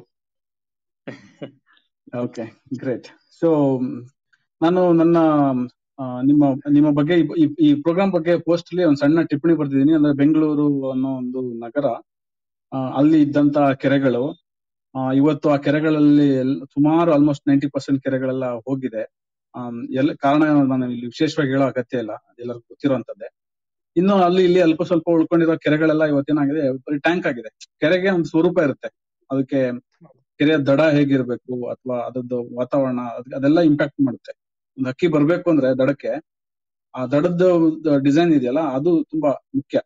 ಆ, ಸ್ಲೋಪ್ ಇವಾಗ ಏನಾಗ್ತಾ ಇದೆ ಆ ಕೆರೆಗಳ ಸ್ವರೂಪ ಬದಲಾಗಿ ವಾಕಿಂಗ್ ಪಾತ್ ಎಲ್ಲ ಮಾಡಿ ಅಥವಾ ಇನ್ನೇನೋ ಮಾಡ್ಕೊಂಡು ಅದು ಸುಮ್ಮನೆ ಒಂದಷ್ಟು ಟ್ಯಾಂಕ್ ಗಳಾಗಿದೆ ಹೊರತು ಅದು ಕೆರೆ ಸ್ವರೂಪದಲ್ಲಿ ಇಲ್ವೇ ಇಲ್ಲ. ಕೆರೆ ಅಂತ ಅನ್ಸ್ಕೊಳ್ಳೋದೇ ಇಲ್ಲ. ಅಲ್ಲಿ ಯಾವ ಹಕ್ಕಿನೂ ಬಂದು ಲ್ಯಾಂಡ್ ಆಗಕ್ಕೂ ಆಗಲ್ಲ. ಆತರ ತರ ಸ್ಥಿತಿಲಿ ಇದೆ ಒಳಗಡೆ ಕೆರೆ ಅಲ್ಲೋ ಇಲ್ಲೋ ಒಂದು ಅಲ್ಲೊಂದು ಇಲ್ಲೊಂದು ಬೆರಳೆಣಿಕೆ ಅಷ್ಟು ಮಾತ್ರ ಉಳ್ಕೊಂಡಿದೆ ಇವತ್ತು. ಹಂಗ್ ನೋಡಿದಾಗ ನಾವು ಬೆಂಗಳೂರು ಸುತ್ತಮುತ್ತ ಒಂದಷ್ಟು ಒಳ್ಳೊಳ್ಳೆ ಕೆರೆಗಳು, ಒಂದು ಒಳ್ಳೊಳ್ಳೆ ಜಾಗಗಳು ಅಂತ ಒಂದಷ್ಟು ಉಳ್ಕೊಂಡಿದೆ ಜಸ್ಟ್ ಬೆಂಗಳೂರಿನ ಒಂದು ಬೆಂಗಳೂರು ಮಧ್ಯ ಭಾಗದಿಂದ ಒಂದು ಇಪ್ಪತ್ ಇಪ್ಪತ್ತೈದು ಕಿಲೋಮೀಟರ್ ನಾವು ಅಂಚಿಗೆ ಬಂದ್ರೆ ನಮ್ಗೆ ನಾವು ಬೆಂಗಳೂರಲ್ಲಿ ಇದೀವಾ ಅಂತ ನಮಗೆ ಪ್ರಶ್ನೆ ಆಗುವಷ್ಟು ಅಥವಾ ಆಶ್ಚರ್ಯ ಆಗುವಷ್ಟು, ಆ ಸೈಲೆನ್ಸ್ ಮತ್ತೆ, ಆ ಪರಿಸರ, ಹಸಿರು, ಕಾಡು ಒಂದಷ್ಟು ಜಾಗಗಳು ಇದಾವೆ. ಅದೆಲ್ಲ ಈ ಬೆಂಗಳೂರಲ್ಲಿ ಬರ್ಡ್ ವಾಚಿಂಗ್ ಮಾಡುವಂತವ್ರಿಗೆ ಅಥವಾ ಬೆಂಗಳೂರಲ್ಲಿ ಫೋಟೋಗ್ರಫಿ ಮಾಡುವಂತವ್ರಿಗೆ ಅವೆಲ್ಲ ನಿತ್ಯ ಅಥವಾ ಪ್ರತಿ ವಾರ ಹೋಗುವಂತ ತಾಣಗಳು. ಸೊ ನಮ್ಮ ರೋಹನ್ ಈ ತರದ ಸ್ಥಳಗಳನ್ನ ತುಂಬಾ ಸ್ಪಷ್ಟವಾಗಿ ಮತ್ತೆ ತುಂಬಾ ಏನೋ ಏನಂತಾರೆ ಎಫಿಷಿಯಂಟ್ ಆಗಿ ಬಳಸ್ಕೊಂಡಿದ್ದಾರೆ. ಸೊ ಅವರ ಸುಮಾರು ಪಿಕ್ಚರ್ ಬೆಂಗಳೂರು ಸುತ್ತಮುತ್ತ ಅಥವಾ ಬೆಂಗಳೂರಿನ ಒಂದು ಐವತ್ತು, ಅರವತ್ತು ಕಿಲೋಮೀಟರ್ ಸರೌಂಡಿಂಗ್ ಅಲ್ಲಿ ತೆಗ್ದಿರುವಂತ ಚಿತ್ರಗಳು. ನಮ್ಗೆ ಆಶ್ಚರ್ಯ ಆಗುತ್ತೆ. ಅಂದ್ರೆ ನಮ್ಮ ಊರಲ್ಲಿ ಈ ತರ ಒಂದು ಕಾಂಕ್ರೀಟ್ ಕಾಡಿನ ಅಥವಾ ಇಷ್ಟೊಂದು ನಾವು ಹಾಳು ಮಾಡಿರೋ ಜಾಗದಲ್ಲೂ ಇವತ್ತಿಗೂ ಇಷ್ಟೊಂದು ಬಯೋಡೈವರ್ಸಿಟಿ ಇದೆ, ಇಷ್ಟೊಂದು ವೆರೈಟೀಸ್ ಆಫ್ ಹಕ್ಕಿಗಳು ಬರುತ್ತೆ ಅಂತಂದ್ರೆ ಅದು ನಿಜವಾಗ್ಲೂ ಒಂದು ಆಶ್ಚರ್ಯ ಮತ್ತೆ ಒಂದು ಇನ್ಸ್ಪಿರೇಷನ್ ಸೊ ನೀವು ಅದನ್ನ ರೋನ್ ಪಿಕ್ಚರ್ಸ್ ನೋಡ್ತಾ ನೋಡ್ತಾ ಇದೇ ಇದರಲ್ಲಿ ನಾವು ಚರ್ಚೆ ಮಾಡೋಣ. ಫೋಟೋಸ್ ತೋರಿಸ್ತೀನಿ ಒಂದಷ್ಟು. ಯಾರಿಗೆ ಸಮಯ ಇದೆ ಅಥವಾ ರೋವನ್ ಪ್ರೊಫೈಲ್ಗೆ ಹೋಗಿ ಇದರಲ್ಲಿ ಇನ್ಸ್ಟಾಗ್ರಾಮ್ ಅಲ್ಲಿ ನೋಡಿ ರೋಹನ್ ಪಿಕ್ಚರ್ಸ್ ರೋಹನ್ ನಮ್ಮ ಬೆಂಗಳೂರು ಅಂಚಿನಲ್ಲಿರೋ ಕೆರೆಗಳು ಮತ್ತೆ ಬೆಂಗಳೂರು ಸುತ್ತಮುತ್ತ ಎಲ್ಲ ಇರುವಂತ ಹಕ್ಕಿಗಳ ವಿಶಿಷ್ಟತೆ ಇದ್ರ ಬಗ್ಗೆ ಸ್ವಲ್ಪ ಮಾತಾಡಿ ರೋಹನ್. ಸೊ ಗೌರೀಶ್ ಅವ್ರು ಹೇಳ್ದಂಗೆ ತುಂಬಾ ಕೆರೆಗಳಿದೆ. ಇತ್ತು, ಇವಾಗ ತುಂಬಾ ಕಡಿಮೆ ಆಗ್ತಿದೆ. ಅಂಡ್ ನಮ್ದ್ರಲ್ಲಿ ಏನ್ ಪ್ರಾಬ್ಲಮ್ ಅಂದ್ರೆ ಕೋ ಎಕ್ಸಿಸ್ಟೆನ್ಸ್ ಅನ್ನೋದು ಇಲ್ವೇ ಇಲ್ಲ. ಹ್ಯೂಮನ್ ನೀಡ್ಸ್ ಇವಾಗ ಜಾಸ್ತಿ ಆಗ್ತಿದ್ದಂಗೆ ಏನ್ ಮಾಡ್ತಾರೆ? ಕೆರೆಗಳನ್ನ ಡೆವಲಪ್ ಮಾಡ್ತಾರೆ. ಆದ್ರೆ ಅದು ಇಕೋ ಸಿಸ್ಟಮ್ ಹೆಂಗ್ ಹಾಳಾಗ್ತಿದೆ ಅಂತ ಯಾರು ಯೋಚನೆ ಮಾಡ್ತಿಲ್ಲ. ಯೋಚನೆ ಮಾಡಿದ್ರು ಅವ್ರ ವಾಯ್ಸ್ ಮುಂದಕ್ಕೆ ಹೋಗೋದೇ ಇಲ್ಲ. ಅಲ್ಲಿಗೆ ನಿಲ್ಲತ್ತೆ ಅಂಡ್ ಸರ್ಕಾರ ಒಂದೇ ಇಲ್ಲ, ತುಂಬಾ ಫ್ಯಾಕ್ಟರ್ಸ್ ಇದೆ. ಯಾರು ಅದಕ್ಕೆ ಸರಿ ಪ್ರಾಮುಖ್ಯತೆ ಕೊಡ್ತಿಲ್ಲ. ಸೊ ಅವ್ರು ಹೇಳ್ದಾಗೆ ಇವಾಗ ಕೆರೆಗಳು ಏನ್ ಮಾಡ್ತಾರೆ, ಇವಾಗ ಜನಕ್ಕೆ ನೀರ್ ಬೇಕು. ಆ, ನೀರ್ ಅಗತ್ಯ ಅನ್ಬಿಟ್ಟು ಆಫ್ ಸೀಸನ್ ಮಳೆ ಇಲ್ದಿದ್ದಾಗ ಇವರೇ ತಂದು ನೀರ್ ಪಂಪ್ ಮಾಡೋದು ಆತರ ಎಲ್ಲ. ಹೌದು, ನಾವು ಖುಷಿಯಾಗಿದ್ದೀವಿ. ಆದ್ರೆ ಅಲ್ಲಿ ಇಕೋ ಸಿಸ್ಟಮ್ ಏನಾಗ್ತಿದೆ ಅಂತ ಯಾರು ಯೋಚನೆ ಮಾಡಿದಾರ? ಇಲ್ಲ. ಸೊ ಈ ಪಕ್ಷಿಗಳು ಬೇರೆ ಬೇರೆ ಪಕ್ಷಿಗಳಿಗೆ ಬೇರೆ ಬೇರೆ ನೆಸ್ಟಿಂಗ್ ಸೀಸನ್ ಇದೆ. ಅಂಡ್ ಅದೇ ಸೀಸನ್ ಅಲ್ಲಿ ಮಳೆ ಆದಾಗ ಆ ಹ್ಯಾಬಿಟ್ಯಾಟ್ ಅಥವಾ ಆ ಸ್ಪೀಶೀಸ್ ಒಂದು ಗಿಡಗಳು ಏನ್ ಬರುತ್ತೆ? ಫ್ಲೋರಾ ಅಂಡ್ ಫಾನ ಅದು ಸಖತ್ ಇಂಪಾರ್ಟೆಂಟ್ ಯಾಕಂದ್ರೆ ಆ ಗಿಡಗಳು ಏನ್, ಆ ಕ್ರಿಮಿಕೀಟಗಳು ಇನ್ಸೆಕ್ಟ್ಸ್ ಬೇರೆ ಲೋಕಸ್ಟ್ ಏನ್ ಅಟ್ರಾಕ್ಟ್ ಮಾಡುತ್ತೆ? ಅದೇ main source of protein and food for all the birds ಇದು ಬರೀ ರ್ಯಾಪ್ಟರ್ಸ್ ಅಲ್ಲ ಎನಿ ಪಕ್ಷಿ. ಅದು ನೆಸ್ಟಿಂಗ್ ಹೆಂಗ್ ಮಾಡುತ್ತೆ? ಹ್ಯಾಬಿಟ್ಯಾಟ್ ಇವರು ಒಂದು ಕೆರೆಗೆ ಹೋಗ್ಬಿಟ್ಟು ನೀರ್ ತುಂಬೋದು ಅಥವಾ ನೇಟಿವ್ ಸ್ಪೀಶೀಸ್ ಬಿಟ್ಬಿಟ್ಟು ಬೇರೆ ಹೈಬ್ರಿಡ್ ಬೇರೆ ಗಿಡಗಳು ಹಾಕೋದು, ಇದೆಲ್ಲ ಈಕೋ ಸಿಸ್ಟಮ್ ತುಂಬಾ ಡ್ಯಾಮೇಜ್ ಆಗ್ತಿದೆ. ಸೊ ಹೀಗ್ ಮಾತಾಡ್ತಾ ಗೌರಿ ಹೇಳ್ದಂಗೆ ತುಂಬಾ ಕೆರೆಗಳಿದೆ ಬೆಂಗಳೂರು ಅಕ್ಕಪಕ್ಕ. ಆ ಅಂತ ಕೆರೆಗಳಲ್ಲಿ ಏನಾಗುತ್ತೆ ಅಂದ್ರೆ ಮಳೆಗಾಲ ಬಂದು ನೀರು ಸ್ವಲ್ಪ ಕಡಿಮೆ ಆಗಿ ರಿಸೈಡ್ ಆಗ್ತಿದ್ದಂಗೆ ಸೆಪ್ಟೆಂಬರ್, ಅಕ್ಟೋಬರ್ ಹಂಗೆ ಈ ಕಡೆ ಯುರೋಪ್ ಚಳಿಯಲ್ಲಿ ಜಾಸ್ತಿ ಇರುತ್ತೋ ಆ ದೇಶಗಳಿಂದ ಎಲ್ಲ ವಾರ್ಮರ್ ಕಂಟ್ರೀಸ್ಗೆ ಪಕ್ಷಿಗಳು ಮೈಗ್ರೇಟ್ ಆಗುತ್ತೆ. ಅಂಡ್ ಪಕ್ಷಿ migration is something very fascinating because ತುಂಬಾ ದೂರದಿಂದ ಹಿಮಾಲಯ ಬೆಟ್ಟನ ದಾಟಿ ಬೇಜಾನ್ ಪಕ್ಷಿಗಳು ಬರುತ್ತೆ. ಅಂಡ್ ನಾವು ಹ್ಯೂಮನ್ಸ್ ಇಂಟೆಲಿಜೆಂಟ್ ಅಂತ ಅನ್ಕೋತೀವಿ, ಆದ್ರೆ ಪಕ್ಷಿಗಳು ನಮ್ಕಿಂತ intelligent ocean currents wind speed ಇದೆಲ್ಲ ಕ್ಯಾಲ್ಕುಲೇಟ್ ಮಾಡಿ ಯೂಸ್ ಮಾಡಿ ಪಕ್ಷಿಗಳು ಒಂದ್ ದೇಶದಿಂದ ಇನ್ನೊಂದ್ ದೇಶಕ್ಕೆ ಹೋಗುತ್ತೆ. ಸೊ ಈ ಕೆರೆಗಳು ಹ್ಯಾಬಿಟ್ಯಾಟ್ಸ್ ಬಂದಾದ್ಮೇಲೆ ಪ್ಲೇನ್ ಗ್ರಾಸ್ ಲ್ಯಾಂಡ್ ಅನ್ನೋದು ತುಂಬಾ ಕಡಿಮೆ. ಆ, ಏನಾಗಿದೆ ಇವಾಗ? ಅಗ್ರಿಕಲ್ಚರ್ ಬಂದು ಡೆವಲಪ್ಮೆಂಟ್ ಆಗ್ಬಿಟ್ಟು ಗ್ರಾಸ್ ಲ್ಯಾಂಡ್ಸ್ ಅನ್ನೋದು ತುಂಬಾ ಕಡಿಮೆ ಆಗ್ಬಿಟ್ಟಿದೆ. ಆ, ತುಂಬಾ ಚೆನ್ನಾಗಿರೋ ಜಾಗ ಗೊತ್ತಿದ್ರೆ, ಮೈದನಹಳ್ಳಿ, ಜಯಮಂಗಲಿ ಅಂತ ಒಂದು ಬ್ಲಾಕ್ ಬಕ್ ರಿಸರ್ವ್ ಇತ್ತು. ಹತ್ತು ವರ್ಷದಿಂದ ಅದು ಫುಲ್ ಎಷ್ಟು ದೊಡ್ಡ ಗ್ರಾಸ್ ಲ್ಯಾಂಡ್ ಆಗಿತ್ತು ಅಂದ್ರೆ, ತುಂಬಾ ಪಕ್ಷಿಗಳು ಬರೋದು. ಆದ್ರೆ ಈಗ ಹೋಗಿ ನೋಡ್ರೆ ಎಲ್ಲ ಎನ್ಕ್ರೋಚ್ಮೆಂಟ್ ಆಗಿ, ಒಳ್ಳೆ ಗದ್ದೆಗಳು ಅಗ್ರಿಕಲ್ಚರಲ್ ಲ್ಯಾಂಡ್ ತರ ಕಾಣುತ್ತೆ. ಸ್ಯಾಂಚುರಿ ಅಂತ ಹೇಳಕ್ಕೆ ಆಗಲ್ಲ. ಬೆಂಗಳೂರು ಅಕ್ಕಪಕ್ಕನೂ ಅದೇ ತರ ಆಗ್ತಿದೆ. ಆ ವೇಸ್ಟ್ ಮ್ಯಾನೇಜ್ಮೆಂಟ್ ಗೊತ್ತಾಗದೆ ತುಂಬಾ ಗಲೀಜು ಹಾಕೋದು ಇಂಡಸ್ಟ್ರಿಯಿಂದ ವೇಸ್ಟ್ ಬರೋದು. ಸೊ ಎಲ್ಲ ಕಂಟಾಮಿನೇಟ್ ಆಗಿ ಕೆರೆಗಳು ಲೇಕ್ ಬೆಡ್ ಫುಡ್ ಸೋರ್ಸ್ ಎಲ್ಲ ಕಡಿಮೆ ಆಗ್ಬಿಟ್ಟು ಇವಾಗ ಪಕ್ಷಿಗಳಿಗೆ ತುಂಬಾ ಕಡಿಮೆ ಜಾಗ ಆಗಿದೆ. ಪಕ್ಷಿಗಳು ಬರಲ್ಲ ಅಂತಿಲ್ಲ. ಸೊ ನಾವೇನ್ ಅನ್ಕೋತೀವಿ, ಎಲ್ರು ನಂಬರ್ಸ್ ಕಡಿಮೆ ಆಗ್ತಿದೆ, ಪಕ್ಷಿಗಳು ಬರ್ತಿಲ್ಲ. ಪಕ್ಷಿಗಳು ಬರ್ತಿವೆ. ಆದ್ರೆ ಏನಂದ್ರೆ, ಅದರ ಹ್ಯಾಬಿಟ್ಯಾಟ್ ಲೇಕ್ ಬೆಡ್ ಏನಿದೆಯೋ ಅಲ್ಲಿ ಜಾಗನೇ ಇಲ್ಲ ಹ್ಯಾಬಿಟೈಟ್ ಡಿಸ್ಟ್ರಾಯ್ ಆಗಿದ್ರೆ ನಿಮ್ಗೆ ಅಲ್ಲಿ ನೋಡಕ್ ಆಗಲ್ಲ ಸೊ ಪಕ್ಷಿಗಳು ಏನ್ ಮಾಡ್ತವೆ? ಗದ್ದೆಗಳು ಅಥವಾ ಚಿಕ್ ಚಿಕ್ ಬೇರೆ ಜಾಗ ಪ್ಯಾಚ್ ಪ್ಯಾಚ್ ಏನ್ ಜಾಗ ಇರುತ್ತೋ ಅಲ್ಲಿ ಹುಡ್ಕೋತಿವೆ. ಸೊ ನಾವ್ ಏನ್ ಮಾಡ್ಬೇಕಂದ್ರೆ ಇರೋ ಕೆರೆಗಳನ್ನ ಉಳಿಸ್ಕೊಳ್ಳೋದು ಪ್ರಾಮುಖ್ಯತೆ ಕೊಡಬೇಕು. ಆದಷ್ಟು ನಾವು ಪುಷ್ ಮಾಡ್ಬೇಕು. ಗ್ರಾಸ್ ಲ್ಯಾಂಡ್ಸ್ನ ಕನ್ಸರ್ವ್ ಮಾಡೋದನ್ನ ನಾವು ಡೆವಲಪ್ ಮಾಡ್ಕೋಬೇಕು. ತುಂಬಾ ಜನಕ್ಕೆ ಅವೇರ್ನೆಸ್ ಇಲ್ಲ. ಜನ ಏನ್ ಅನ್ಕೋತಾರೆ? ಕೆರೆಗಳಂದ್ರೆ ಬರೀ ನೀರು, ಆ, ನಮ್ ನೀಡ್ಸ್ಗೆ ಅಂತ ಅನ್ಕೋತಾರೆ. ಸೊ ನಂದು ಒಂದು ಪ್ಲಾನ್ ಇರೋದು ಅಥವಾ ಡ್ರೀಮ್ ಇರೋದು ಆತರ ಒಂದು ಅವೇರ್ನೆಸ್ ಕ್ರಿಯೇಟ್ ಮಾಡಿ ಹೆಂಗೆ ಗ್ರಾಸ್ ಲ್ಯಾಂಡ್ ಕನ್ಸರ್ವೇಶನ್ ಅಂತ ಎಷ್ಟೊಂದ್ ಕಡೆ ಆಲ್ರೆಡಿ ನಡೀತಿದ್ಯೋ, ಬೆಂಗಳೂರು ಅಕ್ಕಪಕ್ಕ ಅಥವಾ ಸುತ್ತಮುತ್ತ ಇರೋ ಒಂದಷ್ಟು ಕೆರೆಗಳನ್ನು ಉಳಿಸ್ಕೋಬೇಕು. ಇರೋದೇ ತುಂಬಾ ಕಡಿಮೆ ಕೆರೆಗಳು, ಉಳಿಸ್ಕೊಳಕ್ಕೆ ನಾವು ತುಂಬಾ ಪ್ರಯತ್ನ ಪಡಬೇಕು. ಎಸ್ ಸೊ ನಾನು ಈ ಕಾಂಟೆಕ್ಸ್ಟ್ ಅಲ್ಲಿ ಕನ್ಸರ್ವೇಶನ್ ಕಾಂಟೆಕ್ಸ್ಟ್ ಅಲ್ಲಿ ಮತ್ತೆ ಮಾತಾಡ್ತೀನಿ. ಸೊ ಇಲ್ಲಿಗೆ ಬರುವಂತ ಹೊರಗಡೆಯಿಂದ ವಲಸೆ ಹಕ್ಕಿಗಳು ಹಲವಾರು ಜಾತಿಯ ವಲಸೆ ಹಕ್ಕಿಗಳು ಬರುತ್ತೆ ಬೆಂಗಳೂರು ಸುತ್ತಮುತ್ತ. ಸೊ ಆ ವಲಸೆ ಹಕ್ಕಿಗಳ ಬಗ್ಗೆ ಒಂದು ಸಣ್ಣ ಇಂಟ್ರೊಡಕ್ಷನ್ ಅಥವಾ ಯಾವ್ದು ಪ್ರಮುಖವಾಗಿ ಬರುವಂತ ಹಕ್ಕಿಗಳು ಎಲ್ಲಿಂದ ಬರ್ತವೆ, ಎಷ್ಟು ದೂರದಿಂದ ಬರ್ತವೆ, ಆ ಅದ್ರದ್ದು ಬಗ್ಗೆ ಒಂದ್ ಸ್ವಲ್ಪ ಮಾತಾಡಿ. ನಂತರ ಕನ್ಸರ್ವೇಶನ್ ಬಗ್ಗೆ ನಾನು ಮತ್ತೆ ಸಬ್ಜೆಕ್ಟ್ ಆಗಿದ್ದೀನಿ ಓಕೆ ಸೊ ನಾನು ತುಂಬಾ ಹದ್ದುಗಳು ರ್ಯಾಪ್ಟರ್ಸ್ ಮೇಲೆ ವರ್ಕ್ ಮಾಡಿರೋದು. So with respect to most of raptors and seasons ನಾನು ಸ್ಟಾರ್ಟ್ ಮಾಡ್ತೀನಿ.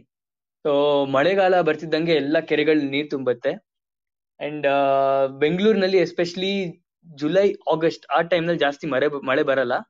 ಆದ್ರೆ ಅಕ್ಟೋಬರ್ ನವೆಂಬರ್ ಅಲ್ಲಿ ಜಾಸ್ತಿ ಮಳೆ ಆಗುತ್ತೆ. ಸೊ ಸ್ವಲ್ಪ ಮಳೆ ಆಗಿದ ಕೂಡಲೇ ಮಳೆ ಆಗೋ ಮುಂಚೆ ಮಾನ್ಸೂನ್ ಮುಂಚೆ, ನಮಗ್ ಫಸ್ಟ್ ಸ್ಟಾರ್ಟ್ ಆಗೋದೇ ನಮ್ ಟಾನಿ ಈಗಲ್ಸ್ ಅದಕ್ಕೆ ಏನಂದ್ರೆ, ಅದು ರೆಸಿಡೆಂಟ್ ಬರ್ಡ್ಸ್ ಟಾನಿ ಈಗಲ್ಸ್ ಇಲ್ಲೇ ನೆಸ್ಟಿಂಗ್ ಮಾಡುತ್ತೆ. ಅದರದ್ದು ನೆಸ್ಟಿಂಗ್ ಆಗೋದು ನಮ್ ಸಮ್ಮರ್ನಲ್ಲಿ ಏಪ್ರಿಲ್ ಮಿಡ್ ಹತ್ತತ್ರ ಸ್ಟಾರ್ಟ್ ಆಗುತ್ತೆ. ಅಂಡ್ ಮೇ ಎಂಡ್ ಮಳೆ ಜೂನ್ ಅಲ್ಲಿ ಸ್ಟಾರ್ಟ್ ಆಗೋ ಮುಂಚೆನೆ ಮರಿಗಳಾಗಿರುತ್ತೆ.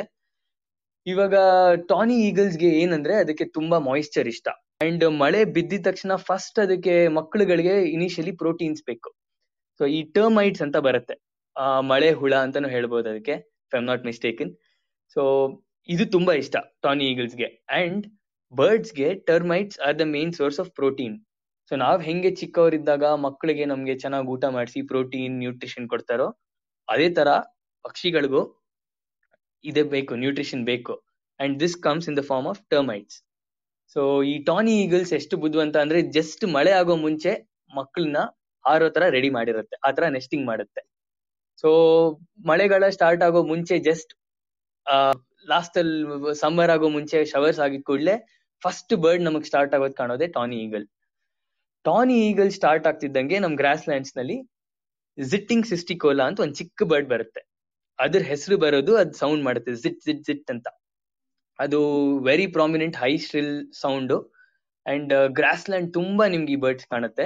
ಅದು ಚಿಕ್ಕ ಚಿಕ್ಕ ಹುಳಗಳನ್ನ ತಿನ್ನತ್ತೆ. ಮಳೆಯಿಂದ ಸಾಯಿಲ್ ಇಂದ ಬರೋ ಹುಳಗಳನ್ನ ಸೊ ಆ ಹುಳನ ತಿನ್ನತ್ತಲ್ಲ ಜಿಟ್ಟಿಂಗು ಸೊ ಅವಾಗ ನಂಬರ್ಸ್ ಇರೋದ್ರಿಂದ ಈ ಜಿಟ್ಟಿಂಗ್ ಸಿಸ್ಟಿಕೋಲ ಏನಿದೆ ಇದು ಅಷ್ಟು ಫಾಸ್ಟ್ ಬರ್ಡ್ ಅಲ್ಲ ಫಾರ್ ರ್ಯಾಪ್ಟರ್ಸ್ ಅಲ್ಲಿ ನಮ್ದು ರೆಡ್ ನೆಕ್ ಫ್ಯಾಲ್ಕನ್ಸ್ ಬರುತ್ತೆ. ನಮ್ ರೆಡ್ ನೆಕ್ ಫ್ಯಾಲ್ಕನ್ಸ್ ಬಂದು ಆ, ಆವಾಗ ಸಬ್ ಅಡಲ್ಟ್ಸ್ ಆಗಿರೋ ಬರ್ಡ್ಸ್ನ ಅದ್ರ ನೆಸ್ಟಿಂಗ್ ಮತ್ತೆ ಬರ್ತೀನಿ ನಾನು ಅದು ಟೈಮ್ ಬಂದಾಗ. ಸ್ಟಾರ್ಟ್ ಆಗ್ಬಿಟ್ಟು ಜೂನ್ ಜುಲೈ ಆಗಸ್ಟ್ ಸೆಪ್ಟೆಂಬರ್ ನಿಮ್ಗೆ ಥ್ರೂ ಔಟ್ ಬೆಂಗಳೂರಿನಲ್ಲಿ ತುಂಬಾ ರೆಡ್ ನೆಕ್ ಫ್ಯಾಲ್ಕನ್ಸ್ ಕಾಣುತ್ತೆ. ಮಳೆ ಬಂದ್ರೆ ಅದು ಮಳೆ ಹುಳಕ್ಕೆ ಬರುತ್ತೆ. ಮೋರ್ ದೆನ್ ದಟ್ ಈ ಚಿಕ್ಕ ಚಿಕ್ಕ ಸ್ಮಾಲ್ ಬರ್ಡ್ ಸಿಟ್ಟಿಂಗ್ ಸಿಸ್ಟಿಕೋಲಾ ಇದೆಯಲ್ಲ ಅದನ್ನ ಹಿಡಿಯಕ್ಕೆ. ಅಂಡ್ ರೆಡ್ ನೆಕ್ ಫ್ಯಾಲ್ಕನ್ ನನಗೆ ತುಂಬಾ ಫೇವ್ರೇಟ್ ಬರ್ಡ್ ಯಾಕಂದ್ರೆ ತುಂಬಾ ವರ್ಕ್ ಮಾಡಿದೀನಿ ಅಂಡ್ ತುಂಬಾ ಅದ್ಭುತವಾದ ಸ್ಕಿಲ್ಫುಲ್ ಬರ್ಡ್ ಅದು. ಆ ಆ, ಒಂದಷ್ಟು ರ್ಯಾಪ್ಟರ್ ಬುಕ್ಸ್ ಓದಿದ್ರೆ as early as four thirty ನಾಲ್ಕೂವರೆ ಬೆಳಿಗ್ಗೆ ಎ ಎಂ ಕತ್ಲಲ್ಲಿ ಅದು ಹಂಟ್ ಮಾಡಕ್ ಸ್ಟಾರ್ಟ್ ಮಾಡುತ್ತೆ. ಹೇಗೆ ದೇಸೆ ಅರ್ಲಿ ರೈಸರ್ ಇಸ್ ಗುಡ್ ಅಲ್ವಾ? ಅದೇ ತರ ಇದು ಎಲ್ಲ ಬರ್ಡ್ಸ್ ಗಿಂತ ಮುಂಚೆ ಎದ್ಬಿಟ್ಟು ರೆಡಿ ಇರುತ್ತೆ. ಸೊ ಅರ್ಲಿ ಮಾರ್ನಿಂಗ್ ಸ್ವಲ್ಪ ಮಿಸ್ಟ್ ಕ್ಲಿಯರ್ ಆಗಿ ಸೂರ್ಯ ಹುಟ್ಬೇಕಾದ್ರೆ ಇನ್ನ ಬರ್ಡ್ಸ್ ಎಲ್ಲ ಎದ್ಬಿಟ್ಟು ಸ್ವಲ್ಪ ಲೇಸಿ ಇದ್ದಾಗ ಈ ಬರ್ಡ್ ಅಡ್ವಾಂಟೇಜ್ ತಗೊಂಡ್ ಹಂಟ್ ಮಾಡುತ್ತೆ. ಅಂಡ್ ಇದು ತುಂಬಾ ಪೆಕ್ಯುಲರ್ ಹಂಟಿಂಗ್ ಸ್ಕಿಲ್ ಸಿಂಗಲ್ ಆಗು ಹಂಟ್ ಮಾಡತ್ ಹೌದು.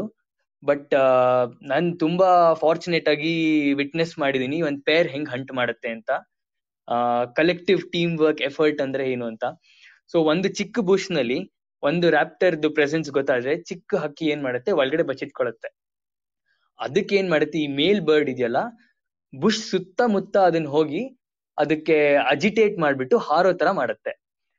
ಅದು ಬರ್ಡ್ ಹಾರಿದಾಗ ಯಾವ ಡೈರೆಕ್ಷನ್ ಅಲ್ಲಿ ಹಾರುತ್ತೋ, ಒಂದು ಫಿಮೇಲ್ ಫ್ಯಾಲ್ಕನ್ ಇದರ್ ಹೋವರ್ ಮಾಡ್ತಿರತ್ತೆ, ಅವ್ರು ಕುತ್ಕೊಂಡ್ ಕಾಯ್ತಿರತ್ತೆ. ಇದು ಹಾರಿಸಿದ ತಕ್ಷಣ ಅದು ಹೋಗಿ ಚಿಕ್ಕ ಬರ್ಡ್ನ ಹಿಡಿಯುತ್ತೆ. ಸೊ ಆಂಬುಷ್ ತರ. ಚಿಕ್ಕ ಬರ್ಡ್ ಐಡಿಯಾನೇ ಇರಲ್ಲ ಏನಾಗ್ತಿದೆ ಅಂತ. ಸೊ ಈ ತರ ಸ್ಕಿಲ್ಫುಲ್ ಹಂಟರ್ ಇದು red neck falcon one of the most beautiful and cute killers so red neck falcon season ಆಗ್ತಿದ್ದಂಗೆ next ನಮ್ದು ಆಗಸ್ಟ್ ಬರುತ್ತೆ. ಆಗಸ್ಟ್ ಸೆಪ್ಟೆಂಬರ್ ಹತ್ತತ್ರ ಅಷ್ಟ್ರಲ್ಲಿ ಮೈಗ್ರೇಷನ್ ಸೀಸನ್ ಸ್ಟಾರ್ಟ್ ಆಗ್ಬಿಟ್ಟಿರುತ್ತೆ. ಈ ಕಡೆ ಯುರೋಪಿಯನ್ ಕೋಲ್ಡ್ ಕಂಟ್ರೀಸ್ ಇಂದ ನಮಗ್ ಫಸ್ಟ್ ಪಕ್ಷಿ ಕಾಣೋದೇ ಯುರೇಷಿಯನ್ ಕುಕ್ಕು ಸೊ ಈ ಕುಕ್ಕು ಏನ್ ಮಾಡುತ್ತೆ? ಆಗಸ್ಟ್ನಲ್ಲಿ ಸ್ವಲ್ಪ ಮಳೆ ಆಗುತ್ತಲ್ಲ ಇಂಡಿಪೆಂಡೆನ್ಸ್ ಡೇ ಆ ಟೈಮ್ನಲ್ಲಿ ಯೂಶಲಿ ಮಳೆ ಆಗೋ ಟೈಮ್ನಲ್ಲಿ ಏನಾಗುತ್ತೆ? ಈ ಕಲರ್ ಕಲರ್ ವರ್ಮ್ಸ್ ಅಥವಾ ಹುಳಗಳಿರುತ್ತಲ್ಲ, ಯುರೇಷಿಯನ್ ಕುಕ್ಕು ಬಂದು ಹಂಟ್ ಮಾಡುತ್ತೆ. ತುಂಬಾ ಜರ್ನಿ ಆದ್ಮೇಲೆ ತುಂಬಾ ಅದಕ್ಕೆ ಎನರ್ಜಿ ಬೇಕಾಗುತ್ತೆ, ಹಶ್ವಾಗಿರುತ್ತೆ. ಸೊ ಅದ್ ಹೆಂಗೆ ಇರುತ್ತೆ ಫೀಡಿಂಗ್ ಫ್ರೆನ್ಸಿ ಅಂದ್ರೆ, ನಡ್ಕೊಂಡು ಹೋಗಿ ನೀವು ಎಷ್ಟ್ ಹತ್ರ ಹೋದ್ರು ಅದು ತಲೆನೇ ಕೆಡ್ಸ್ಕೊಳಲ್ಲ. ಆ ತರ ಊಟ ಕಲೆಕ್ಟ್ ಮಾಡ್ಕೊಂಡು ಊಟ ಮಾಡ್ತಿರುತ್ತೆ. ಅಂಡ್ ಯುರೇಷಿಯನ್ ಕುಕ್ಕು ತುಂಬಾ ನಂಬರ್ಸ್ನಲ್ಲಿ ಬರುತ್ತೆ. ಅಂಡ್ ವೆರಿ ಇಂಪಾರ್ಟೆಂಟ್ ಥಿಂಗ್ ಇವಾಗ ಮೈಗ್ರೇಷನ್ ಬಗ್ಗೆ ಹೇಳ್ತಿರೋದ್ರಿಂದ ನಾನು ಹೇಳ್ತೀನಿ. ಕಾಂಗ್ರಿಗೇಷನ್ ಅಂತ ಆಗುತ್ತೆ. ಸೊ ಒಂದು ದೇಶದಿಂದ ಇನ್ನೊಂದ್ ದೇಶಕ್ಕೆ ಯೂಶಲಿ ಬರ್ಡ್ಸ್ ಒಂದ್ ಗುಂಪಲ್ಲಿ ಹಾರತ್ತೆ. ಬಟ್ ಆ ಗುಂಪು ಇಲ್ಲಿಗೆ ಬಂದು ಒಂದ್ ಕೆರೆ ಮೇಲೆ ಬಂದಾದ್ಮೇಲೆ ಅದಕ್ಕೆಲ್ಲ ಪಕ್ಷಿಗೂ ಊಟ ಸಿಗೋಷ್ಟು ಜಾಗ ಸಾಕಾಗಲ್ಲ. ಸೊ ಎಲ್ಲ ಒಂದೇ ಕಡೆ ಬರುತ್ತಲ್ಲ, ಅದಕ್ಕೆ ಕಾಂಗ್ರಿಗೇಷನ್ ಅಂತ ಹೇಳ್ತೀವಿ. ಅದ್ ಇನಿಷಿಯಲಿ ಸ್ವಲ್ಪ ಅದ್ ಲ್ಯಾಂಡ್ ಆಗಿ ಒಂದ್ ತ್ರೀ ಫೋರ್ ಡೇಸ್ ಆತರ ನಂಬರ್ಸ್ ಇರುತ್ತೆ. ಆಮೇಲೆ ಎಲ್ಲಿ ಊಟ ಅದಕ್ಕೆ ಸಿಗತ್ತೋ ಬೇರೆ ಬೇರೆ ಕಡೆ ಬರ್ಡ್ಸ್ ಎಲ್ಲ ಡಿಸ್ಟ್ರಿಬ್ಯೂಟ್ ಆಗುತ್ತೆ. ಸೊ ನಮ್ ಯುರೇಷಿಯನ್ ಕುಕ್ಕುನು ಹಾಗೆ. ಬಂದಾಗ ಒಳ್ಳೆ ಕಲರ್ ಇರುತ್ತೆ ತಿಂತ ತಿಂತ ಕಲರ್ ಫೇಡ್ ಆಗುತ್ತೆ ಅದು. That is one thing I observed dark grey ಇರೋದು ಪೇಲ್ ಗ್ರೇ ಆಗುತ್ತೆ. ಅದು ಯಾಕೆ ಅಂತ ನಂಗೂ ಗೊತ್ತಿಲ್ಲ but it is something very interesting so ಈ ತರ ಕಾಂಗ್ರಿಗೇಷನ್ ಆಗಿ ಯುರೇಷಿಯನ್ ಕುಕ್ ಹೋಗಿ ಹೋಗ್ತಿದ್ದಂಗೆ ನೆಕ್ಸ್ಟ್ ನಮ್ದು ರ್ಯಾಪ್ಟರ್ ಸ್ಟಾರ್ಟ್ ಆಗುತ್ತೆ. ಮಾರ್ಷ್ ಹ್ಯಾರಿಯರ್ಸ್ ಬರುತ್ತೆ. ಇದೆಲ್ಲ ಯುರೋಪ್ ಇಂದ ನಾನು ಹೇಳ್ತಿರೋ birds most of them come from Europe western Europe ಎಲ್ಲಿ ಚಳಿ ಪ್ರದೇಶ ಇದೆಯೋ ಅಲ್ಲಿಂದ ಹಾರುತ್ತೆ. ಅಂಡ್ ಎಲ್ಲಾ ಪಕ್ಷಿನೂ ಇಂಡಿಯಾಲ್ ನಮಗ್ ಕಾಣೋ ಮೈಗ್ರೆಂಟ್ಸ್ ಅಥವಾ ಪಾಸರ್ ಬೈ ಮೈಗ್ರೆಂಟ್ಸ್ ಎಲ್ಲ ಬರ್ಡು ಆಫ್ರಿಕಾಗ್ ಹೋಗುತ್ತೆ. ಸೊ ನೀವು ವಿಂಟರ್ನಲ್ಲಿ ಆಫ್ರಿಕಾಗ್ ಹೋದ್ರೆ ಡಿಸೆಂಬರ್ನಲ್ಲಿ ಎಲ್ಲ ಪಕ್ಷಿ ಬೇ- ಎಲ್ಲ ಬೇರೆ ಬೇರೆ ಕಂಟ್ರಿಯಿಂದ ಬರೋ ಪಕ್ಷಿ ಎಲ್ಲ ಅಲ್ಲಿ ಕಾಣಿಸುತ್ತೆ. ಇದು ಇಂಡಿಯಾ ಒಳ್ಳೆ ಪಿಚ್ ಸ್ಟಾಪ್ ತರ. ಕೆಲವು ಪಕ್ಷಿಗಳು ಇಂದ ಆಫ್ರಿಕಾಗ್ ಹಾರುತ್ತೆ. ಯಾವ್ದಕ್ ಹಾರಕ್ಕಾಗಲ್ವೋ ಇಲ್ಲೇ ಊಟ ಸಿಗುತ್ತೋ ಇಲ್ಲೇ ಉಳ್ಕೊಳತ್ತೆ. ಮಾರ್ಷ್ ಹ್ಯಾರಿಯರ್ ಆಗಿದ್ ಕೂಡ್ಲೆ ಅದ್ರ ಜೊತೆ ನಮ್ದು ಪ್ಯಾಲೆಟ್ ಹ್ಯಾರಿಯರ್ ಮಾಂಟಿಗೋ ಹ್ಯಾರಿಯರ್ ಈ ಹ್ಯಾರಿಯರ್ ಫ್ಯಾಮಿಲಿ ಏನೇನ್ ರ್ಯಾಪ್ಟರ್ಸ್ ಇದೆಯೋ, ಎಲ್ಲ ಆಗಸ್ಟ್ ಎಂಡ್ ಸೆಪ್ಟೆಂಬರ್ ಮಿಡ್ ಅಷ್ಟರಲ್ಲಿ ಬೆಂಗಳೂರಿಗೆ ಬಂದ್ಬಿಟ್ಟಿರುತ್ತೆ. ಅದ್ರ ಜೊತೆ ಇನ್ನೊಂದು ಚಿಕ್ಕ ಪಕ್ಷಿ ಬರೋದು ಅಂದ್ರೆ ಇವಾಗ ಒಂದ್ ಯೋಚನೆ ಮಾಡಿ ರ್ಯಾಪ್ಟರ್ ಅಷ್ಟು ದೊಡ್ಡದಿರೋದು ಗುಂಪಲ್ಲಿ ಹಾರ್ಕೊಂಡ್ ಬಂದಿದೆ ಅಂದ್ರೆ ಚಿಕ್ಕ ಬರ್ಡ್ ಆ ಫಿಸ್ಟ್ ಅಲ್ಲಿ ಇಟ್ಕೋಬಹುದು ಅಷ್ಟು ಚಿಕ್ಕ ಬರ್ಡ್ ಸೈಬೀರಿಯನ್ ಸ್ಟೋನ್ ಚಾಟ್ ಅಂತ. ಸೈಬೀರಿಯಾ ತುಂಬಾ ಕೋಲ್ಡ್ ಕಂಟ್ರಿ ಸೊ ಆ ಸ್ಟೋನ್ ಚಾಟ್ಸ್ ಅಲ್ಲಿಂದ ಹಾರ್ ಬರುತ್ತೆ. ಅದು ಎಷ್ಟು ಕಲರ್ಫುಲ್ ಎಷ್ಟು ಬ್ಯೂಟಿಫುಲ್ ಅಂದ್ರೆ ಎಲ್ಲರಿಗೂ ಟೈಮ್ ಸಿಕ್ಕರೆ ಯಾರು ನೋಡಿದ್ರೆ they can relate to it ಅದೆಷ್ಟು ಬ್ಯೂಟಿಫುಲ್ ಕಲರ್ಫುಲ್ ಅಂತ. And most of the small birds ಈ ಟೈಮ್ ಅಲ್ಲಿ ಬರೋದೇ ನಮ್ ಗ್ರಾಸ್ ಲ್ಯಾಂಡ್ ಮಳೆ ಬಂದ್ ನಿಂತು ಆ ವೆಟ್ನೆಸ್ ಡ್ರೈ ಆಗ್ತಿದ್ದಂಗೆ ಬೇಜಾನ್ ಹುಳಗಳು ಸಿಗುತ್ತೆ, ಹುಳಗಳು ತಿನ್ನಕ್ಕೆ. ಅಂಡ್ ಸೆಪ್ಟೆಂಬರ್ ಪ್ರೋಗ್ರೆಸ್ ಆಗ್ತಿದ್ದಂಗೆ ನಾವು ಅಕ್ಟೋಬರ್ಗೆ ಹೋಗ್ತಿದ್ದಾಗೆ ಈ ಅಮೂರ್ ಫ್ಯಾಲ್ಕನ್ ಅಂತ ಒಂದು ಬರ್ಡ್ ಇದೆ. ಸೊ ಅಮೂರ್ ಫ್ಯಾಲ್ಕನ್ ಇತ್ತೀಚೆಗೆ ಎಲ್ಲಾ ಕಡೆ ಬಂದು ಅದರದ್ದು ಒಂಥರ speciality are nobody that intrigued about it but ತುಂಬಾ ರೇರ್ ಆಗಿತ್ತು ಆ ಬರ್ಡ್ ಟ್ರ್ಯಾಕ್ ಮಾಡೋದ್ ಕಷ್ಟ ಅಲ್ಲ. ಬಿಕಾಸ್ ಅದು ಪಾಸರ್ ಬೈ ಮೈಗ್ರೆಂಟ್ ಸುಮ್ನೆ ದಾಟುತ್ತೆ. ತುಂಬಾ ದಿನ ಇರಲ್ಲ. ಅಕ್ಟೋಬರ್ ಮಿಡ್ ನವೆಂಬರ್ ಟೈಮ್ನಲ್ಲಿ ಅಮೂರ್ ಫ್ಯಾಲ್ಕನ್ಸ್ ಬರುತ್ತೆ. ಅದು ಹೇಗೆ ಅಂದ್ರೆ ಎಕ್ಸಾಕ್ಟ್ ಆಗಿ ಅದು ಸೈಕ್ಲೋನು ಅಥವಾ ಲೋ ಡಿಪ್ರೆಷನ್ ನೋಡ್ಕೊಂಡು ಗಾಳಿ ಯೂಸ್ ಮಾಡಿ, ಸಮುದ್ರ ಆಮೇಲೆ ಸೈಕ್ಲೋನ್ ಮಧ್ಯ ಇರೋ ಗ್ಯಾಪ್ ಅಲ್ಲಿ ಏನ್ ಗಾಳಿ ಇದೆಯೋ ವಾರ್ಮ್ ವಿಂಡ್ಸ್ ವಾರ್ಮ್ ಕರೆಂಟ್ ಅಂತ ಏನ್ ಹೇಳ್ತೀವೋ, ಆ ಟೈಲ್ ವಿಂಡ್ ಹಿಂದೆಯಿಂದ ಬರೋ ವಿಂಡ್ ಡೈರೆಕ್ಷನ್ ನೋಡಿ ಯೂಸ್ ಮಾಡ್ಕೊಂಡು ಬರುತ್ತೆ.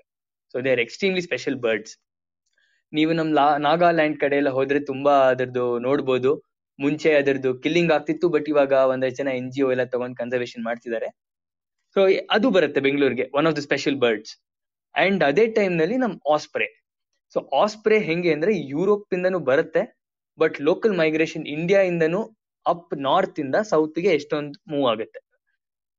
ಮತ್ತೆ ಡಿಸೆಂಬರ್ ಹೋಗ್ತಿದ್ದಂಗೆ ಪೀಕ್ ಡಿಸೆಂಬರ್ನಲ್ಲಿ ಇವೆಲ್ಲದರ ಮಧ್ಯ ಒಂದು ಸ್ಪೆಷಲ್ ಬರ್ಡ್ ತುಂಬಾ ಜನ ನೋಡಿರೋದೇ ಇಲ್ಲ ಯುರೇಷಿಯನ್ ಸ್ಪ್ಯಾರೋ ಹಾಕ್ ಅಂತ. ಅದು ಒಂಥರ ಕಳ್ ಕಳ್ ಬರ್ಡ್ ಅಂತ ಹೇಳ್ಬೋದು. ತುಂಬಾ ಕಳ್ತನದ ತರ ಅದು. ಬಂದ್ ಹೋಗೋದ್ ಗೊತ್ತೇ ಆಗಲ್ಲ. ಅರ್ಲಿ ಮಾರ್ನಿಂಗ್ ಮಿಸ್ಟ್ ಅಲ್ಲಿ ಒಂದ್ ಗ್ಲಿಮ್ಸ್ ಸಿಗ್ಬೋದು ಆ ಕಡೆಯಿಂದ ಈ ಕಡೆ ದಾಟೋದು. ಅಷ್ಟೇ, ಎಲ್ ಹೋಗತ್ತೆ, ಎಲ್ ಕುತ್ಕೊಳ್ಳುತ್ತೆ, ಏನು ಟ್ರ್ಯಾಕ್ ಮಾಡಕ್ ಆಗಲ್ಲ ಅಷ್ಟು ರೇರ್ ಬರ್ಡ್ ಅದು. ರೇರ್ ಕಿಂತ ತುಂಬಾ ಕಷ್ಟ ಅದು. ಒಳ್ಳೆ ಸ್ಟೆಲ್ತ್ ಮೋಡ್ ಚಿಕ್ಕ ಚಿಕ್ಕ ಪಕ್ಷಿನ ಹಂಟ್ ಮಾಡುತ್ತೆ.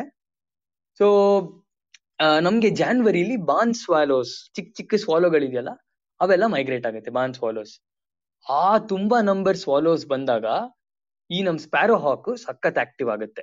ಸ್ವಾಲೋನೇ ಅಷ್ಟು ಫಾಸ್ಟ್ ಆಗಿ ಹಾರಾಡುತ್ತೆ. ಸ್ವಾಲೋಗಳು ನೀವೆಲ್ಲ ನೋಡಿರ್ಬೋದು. ತುಂಬಾ ಹಾರಾಡ್ತಿರತ್ತೆ.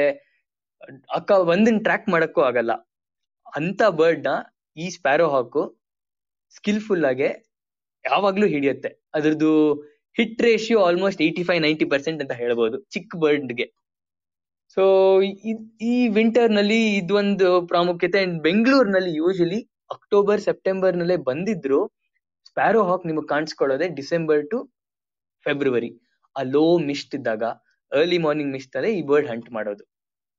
ನೆಕ್ಸ್ಟ್ ಹೊಸ ವರ್ಷ ಆಗ್ತಿದ್ದಂಗೆ ನ್ಯೂ ಇಯರ್ ಪ್ರೋಗ್ರೆಸ್ ಆಗ್ತಿದ್ದಂಗೆ ಸ್ಲೋ ಆಗಿ ಎಲ್ಲ ಬರ್ಡ್ಸ್ ಅಡ್ಜಸ್ಟ್ ಆಗಿರುತ್ತೆ. ಆ ಯಾವ್ದ್ಯಾವ್ದು ಶೈ ಇದೆ ಅಥವಾ ಯಾವ್ದ್ಯಾವ್ದು ಇಲ್ಲಿ ಊಟ ಸಿಗಲು ಅವೆಲ್ಲ ಮೂವ್ ಆಗಿರುತ್ತೆ. ಸೊ ಒಂದಷ್ಟು ಸ್ಪೀಸಿ ಸೆಟಲ್ ಆಗಿರುತ್ತೆ. ಬೆಂಗಳೂರಿನಲ್ಲಿ ಫೆಬ್ ಫೆಬ್ರವರಿ ಸ್ಟಾರ್ಟಿಂಗ್ ಆಗ್ತಿದ್ದಂಗೆ ಸ್ವಲ್ಪ ವಿಂಟರ್ ಏನಾಗುತ್ತೆ, ಬೆಳಿಗ್ಗೆ ಥಂಡಿ ಆದ್ಮೇಲೆ ಮಧ್ಯಾಹ್ನ ಅಷ್ಟ ಬೆಳಿಗ್ಗೆ, ಬೆಳಗಿನ ಜಾವ ಆದ್ಮೇಲೆ ಎಂಟೂವರೆ ಆಗಿದ ಕೂಡಲೇ ನಿಮ್ಗೆ ಥರ್ಮಲ್ಸ್ ಗೊತ್ತಾಗುತ್ತೆ ಹೇ ಸ್ಟಾರ್ಟ್ ಆಗುತ್ತೆ, ಶೆಕೆ ಆಗುತ್ತೆ. ಈ ಟೈಮ್ನಲ್ಲಿ ನಮ್ದು ಗ್ರೇಟರ್ ಸ್ಪಾಟೆಡ್ ಈಗಲ್ ಅಂತ ಬರುತ್ತೆ ಯುರೋಪ್ ಇಂದ ಸೊ ಗ್ರೇಟರ್ ಸ್ಪಾಟೆಡ್ ಈಗಲ್ ಇನ್ನೊಂದು ಕೇಪಬಲ್ ರ್ಯಾಪ್ಟರ್ ಇದು ನಮ್ಗೆ ಬೆಂಗಳೂರಿನಲ್ಲಿ ಫೆಬ್ರವರಿ ಹಂಗ್ ಕಾಣಿಸ್ಕೊಳಕ್ ಆಕ್ಟಿವ್ ಆಗಕ್ ಸ್ಟಾರ್ಟ್ ಆಗುತ್ತೆ. ಈ ತರ ಸ್ವಲ್ಪ ಹೀಟ್ ಅಥವಾ ಥರ್ಮಲ್ ಬಂದಂಗೆ ಈ ರ್ಯಾಪ್ಟರ್ಸ್ಗೆ ತುಂಬಾ ಇಷ್ಟ. ನೀರ್ ಕುಡಿಯಕ್ ಇಳಿಯುತ್ತೆ. ಆಮೇಲೆ ಹಂಟಿಂಗ್ಗೂ ಬೇರೆ ಬರ್ಡ್ಸ್ ಮೂವ್ಮೆಂಟ್ ಕಡಿಮೆ ಆದಾಗ ಅರ್ಲಿ ಮಾರ್ನಿಂಗ್ ಆಕ್ಟಿವಿಟಿ ಆದ್ಮೇಲೆ, ಅದು ತಿಂದಾದ್ಮೇಲೆ ಕೂತಿದ್ದಾಗ, ಈ ರ್ಯಾಪ್ಟರ್ಸ್ ಅಡ್ವಾಂಟೇಜ್ ತಗೊಂಡು ಆಕ್ಟಿವ್ ಆಗಿ ಹಂಟ್ ಮಾಡುತ್ತೆ. ಅಂಡ್ ಈ ಜಾನ್ವರಿ ಫೆಬ್ರವರಿ ಟೈಮ್ನಲ್ಲಿ ಬೆಂಗಳೂರಿನಲ್ಲಿ ಡಕ್ಸ್ ಬಂದಿರುತ್ತೆ ಮೈಗ್ರೇಟರಿ ಡಕ್ಸ್ ಸೆಪ್ಟೆಂಬರ್ ಅಕ್ಟೋಬರ್ ಅಲ್ಲಿ ಬಂದ್ರು, ಅವಾಗ ನೀರ್ ಲೆವೆಲ್ ಜಾಸ್ತಿ ಇರೋದ್ರಿಂದ ನಿಮ್ ಡಕ್ಸ್ ಎಲ್ಲ ದೂರ ದೂರ, ಕೆರೆ ಮಧ್ಯ ಕಾಣುತ್ತೆ. ಆದ್ರೆ ಜಾನ್ವರಿ ಫೆಬ್ರವರಿ ಹೋಗ್ತಿದ್ದಂಗೆ ಸ್ವಲ್ಪ ನೀರ್ ರಿಸೀಡ್ ಆಗ್ತಿದ್ದಂಗೆ ಕಡಿಮೆ ಆಗ್ತಿದ್ದಂಗೆ ಹತ್ರ ಹತ್ರ ಸಿಗತ್ತೆ ಡಕ್ಸ್ ಅಂಡ್ ಡಕ್ಸ್ ಇಮೇಜ್ ಮಾಡ್ಬೇಕು ಅಂತ ತುಂಬಾ ಆಸೆ ಇತ್ತು. ಆದ್ರೆ ಒಂದಷ್ಟು ಸಿಕ್ಕಿದೆ, ಸಿಕ್ಕಿಲ್ಲ ಅಂತ ಹೇಳ್ಬೋದು. ಆದ್ರೆ they are very colourful beautiful creatures and mallards garganey ಇವೆಲ್ಲ ಯುರೋಪ್ ಇಂದಾನೆ ಬರೋದು ಅಂಡ್ ಕಷ್ಟ ಆಗುತ್ತೆ ಫೋಟೋ ತೆಗಿಯಕ್ಕೆ. ಇಲ್ಲಿ ಬಂದಾದ್ಮೇಲೆ ಯುರೋಪ್ ಅಲ್ಲಿ ನಮಗ್ ಕೋಳಿ ಇದ್ದಂಗದು ಕಾಲ್ ಕಾಲಕ್ಕೆ ಸಿಗತ್ತೆ ಆತರ ಓಡಾಡ್ತಿರತ್ತೆ. ಸೊ ಆ ಡಕ್ಸ್ ಎಲ್ಲ ಬರುತ್ತೆ. ಸ್ಲೋಲಿ ಫೆಬ್ರವರಿ ಆಗಿ ಮಾರ್ಚ್ ಪ್ರೋಗ್ರೆಸ್ ಆಗ್ತಿದ್ದಂಗೆ ಮತ್ತೆ ಎಲ್ಲ ಮೈಗ್ರೆಂಟ್ಸ್ ಹೊರಡಕ್ ರೆಡಿ ಆಗುತ್ತೆ. ಅಂಡ್ ಈ ಮೈಗ್ರೆಂಟ್ಸ್ ಎಲ್ಲ ಹೊರಡಕ್ ರೆಡಿ ಆದಾಗ ಮತ್ತೆ ಕಾಂಗ್ರಿಗೇಷನ್ ಆಗುತ್ತೆ. ಕಾಂಗ್ರಿಗೇಷನ್ ಆಗ್ತಿದ್ದಾಗ ಬೆಂಗಳೂರಿನಲ್ಲಿ ನಾನು ಒಂದು ಪಕ್ಷಿ ಬಗ್ಗೆ ಹೇಳೋದ್ ಮರ್ತೆ ಕಾಮನ್ ಕೆಸ್ಟ್ರಲ್ ಅಂತ. ಅದು ಯುರೋಪ್ ಇಂದ ಬರುತ್ತೆ. ಸೊ ಈ ಫಿಮೇಲ್ ಕಾಮನ್ ಕೆಸ್ಟ್ರಲ್ ತುಂಬಾ ಕಾಮನ್ ಆದ್ರೆ ಮೇಲ್ ಕೆಸ್ಟ್ರಲ್ ಬೆಂಗಳೂರಿನಲ್ಲಿ ಮುಂಚೆ ತಿಪ್ಗೊಂಡನ ಹಳ್ಳಿ ಅಂತ ರಿಸರ್ವ್ ಆಗಿದೆ ಅಲ್ಲಿ ಯಾವಾಗ್ಲೂ ಬರೋದು. ಆದ್ರೆ ಅದು ಒಂದೇ ಇಂಡಿವಿಜುವಲ್ ಒಂದೇ ಪಕ್ಷಿ ನಾಲ್ಕೈದು ವರ್ಷ ಬಂದಿತ್ತು. ಆದ್ರೆ ಅದು ಹ್ಯಾಬಿಟೈಟ್ ಡಿಸ್ಟ್ರಾಯ್ ಆಗಿ ಬಂದಿಲ್ಲ. ಸೊ ಈ ಮಾರ್ಚ್ ಏಪ್ರಿಲ್ ಟೈಮ್ ಅಲ್ಲಿ ಯಾವಾಗ ಮತ್ತೆ ಕಾಂಗ್ರಿಗೇಷನ್ ಆಗುತ್ತಲ್ಲ, ಆವಾಗ ಮೇಲ್ ಕೆಸ್ಟ್ರಲ್ ಚಾನ್ಸಸ್ ತುಂಬಾ ಜಾಸ್ತಿ ಬೆಂಗಳೂರಿನಲ್ಲಿ. ಲಾಸ್ಟ್ ಫೋರ್ ಫೈವ್ ಸೀಸನ್ಸ್ ಅಲ್ಲಿ ಯಾವಾಗ್ಲೂ ಏಪ್ರಿಲ್ ಫಸ್ಟ್ ವೀಕ್ ಆ ಟೈಮ್ ಅಲ್ಲೇ ಕಾಣಿಸಿರೋದು.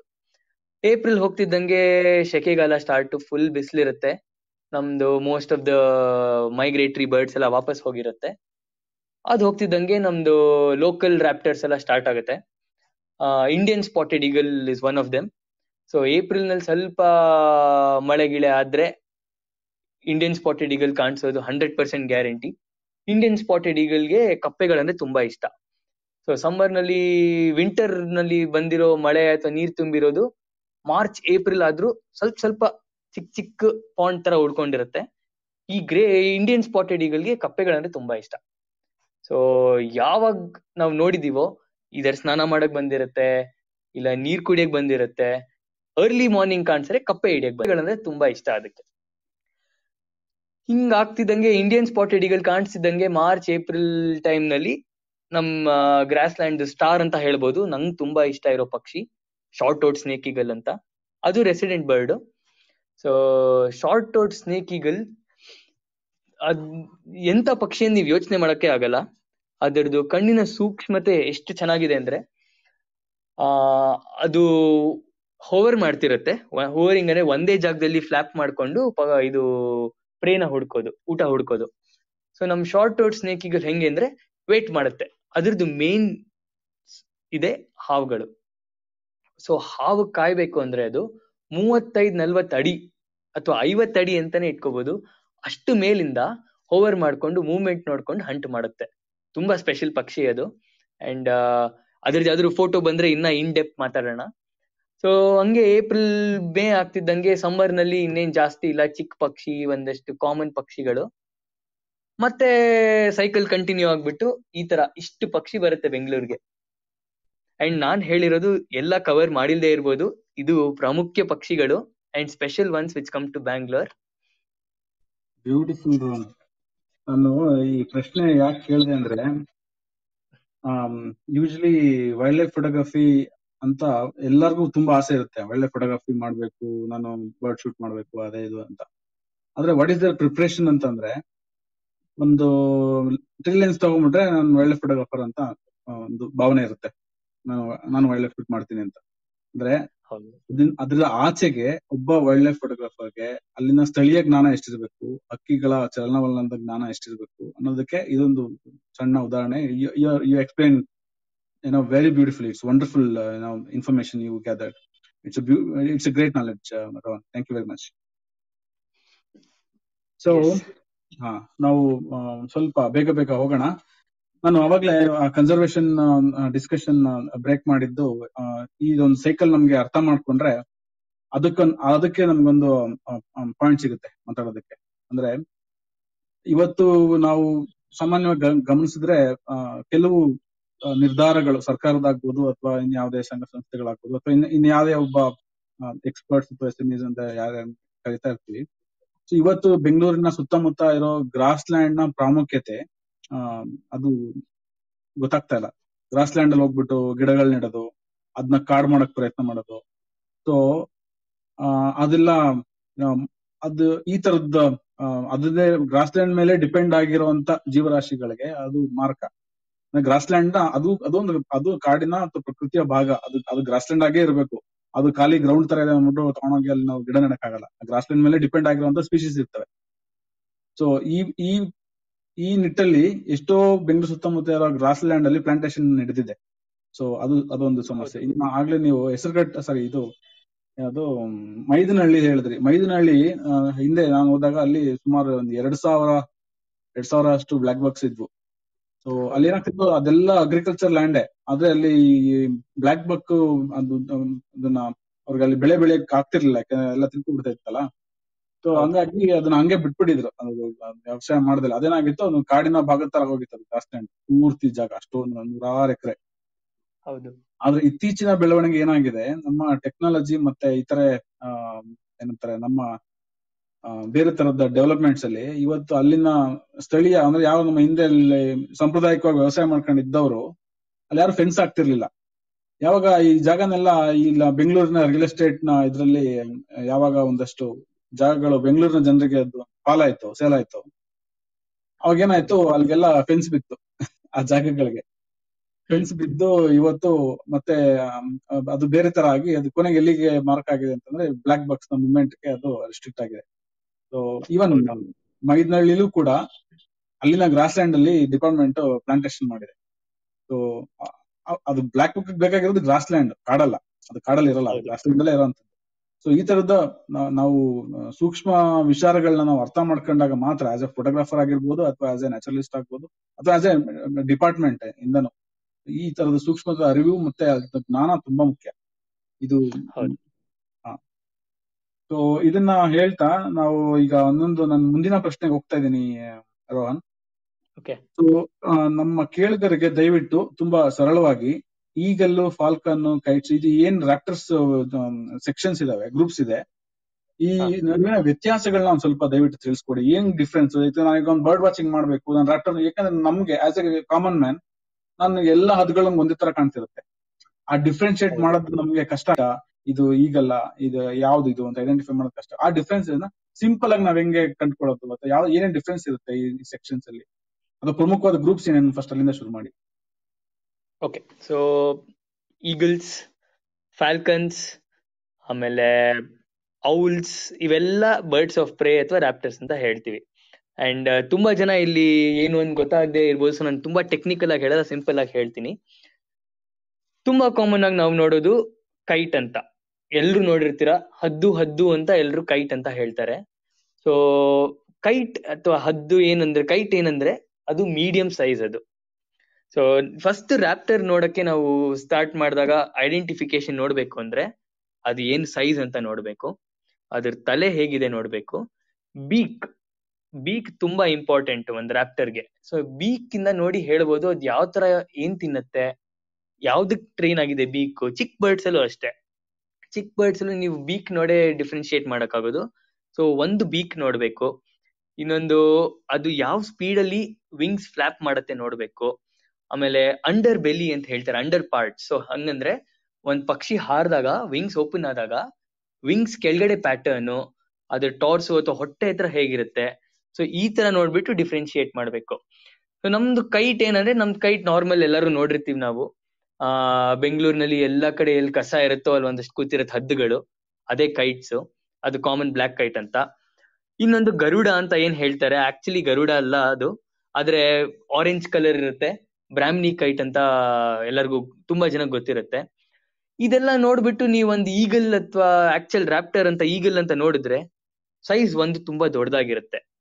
ಇನ್ನೊಂದು ತಲೆ ದೊಡ್ಡದಾಗಿರುತ್ತೆ. ಇಂಪಾರ್ಟೆಂಟ್ ಮಾರ್ಕರ್ ಏನಂದ್ರೆ ಬಾಲ ನೋಡ್ಬೇಕು.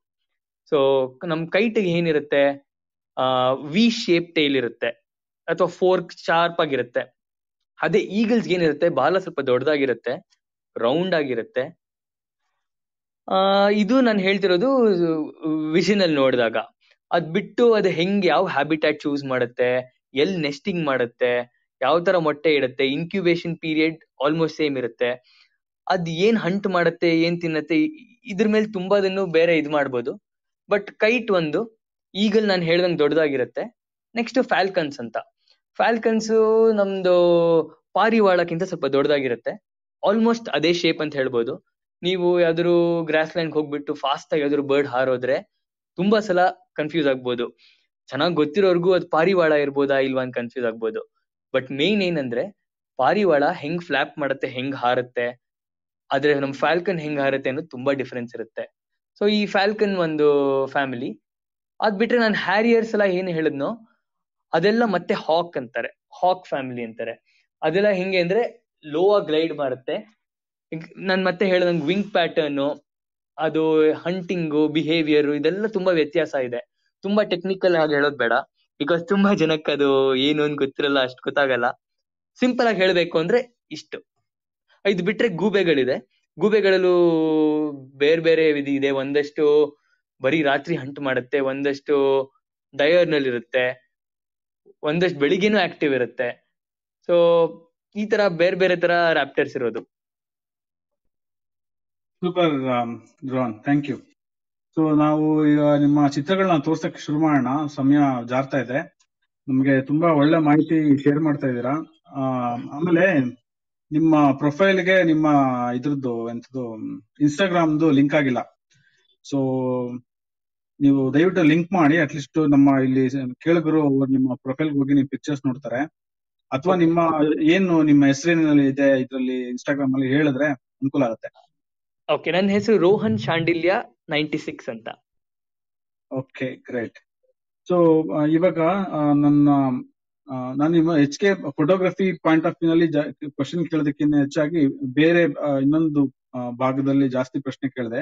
ಅದಕ್ಕೆ ಕಾರಣ ಏನು ಅಂತಂದ್ರೆ ಯೂಶಲಿ ಆಗ್ಲೇ ನಾನು ಹೇಳ್ದಾಗೆ ಫೋಟೋಗ್ರಫಿ ಎಸ್ಪೆಷಲಿ ವೈಲ್ಡ್ ಲೈಫ್ ಮತ್ತೆ ಬರ್ಡ್ ಫೋಟೋಗ್ರಫಿ ಅಂತ ಬಂದಾಗ ನಮ್ಮ ಪ್ರಿಪರೇಷನ್ ಕ್ಯಾಮ್ರಾ ಜೊತೆಗೆ ಈ ತರದ್ದು ನಾಲೆಡ್ಜ್ನ ಬೆಳೆಸ್ಕೊಳ್ಳೋ ಕಡೆ ಪುಸ್ತಕ ಓದೋ ಕಡೆ ಅಥವಾ ಅದನ್ನ ಅರ್ಥ ಮಾಡ್ಕೊಳ್ಳೋ ಕಡೆ ತುಂಬಾ ಮುಖ್ಯ ಆಗುತ್ತೆ. ಯಾವಾಗ ನಾವು ಒಂದು ಜಾಗನ ಅಥವಾ ಒಂದು ನಾವು ಒಂದು ಸ್ಪೀಶಿನ ನಾವು ಅದ್ರದ್ದು ಲೈಫ್ ಅರ್ಥ ಮಾಡ್ಕೋತೀವಿ ಅವಾಗಷ್ಟ ಒಂದು ಎಫೆಕ್ಟಿವ್ ಆಗಿ ಒಂದು ಚಿತ್ರ ತೆಗಿಯಕ್ ಸಾಧ್ಯ ಆಗುತ್ತೆ.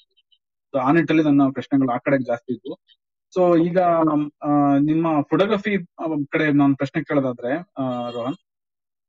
ನಿಮ್ಮ ಒಂದು ಚಿತ್ರದ ಈ ಏನೋ ಏನಂತಾರೆ ನಿಮ್ಮ ಫೋಟೋಗ್ರಫಿಯ ಪ್ರಮುಖ ಉದ್ದೇಶ ಏನು ನೀವು ಏನಕ್ಕೋಸ್ಕರ ಫೋಟೋಗ್ರಫಿ ಮಾಡ್ತಾ so what you want to convey to your pictures okay so non mainly raptors ಅಂತ ಹೇಳಿದ್ನಲ್ಲ ನನಗೆ ರ್ಯಾಪ್ಟರ್ಸ್ ಅಲ್ಲಿ ನನ್ಗೆ ಬರ್ಡ್ಸ್ ಅಂದ್ರೆ ನಾನು ವರ್ಕ್ ಮಾಡಕ್ ಸ್ಟಾರ್ಟ್ ಮಾಡಿದಾಗ ನನ್ಗೆ ಎಲ್ಲರೂ ಅದನ್ನ ತುಂಬಾ ಮೇನ್ ಸ್ಟ್ರೀಮ್ ಅಂತ ಹೇಳ್ಬೋದು.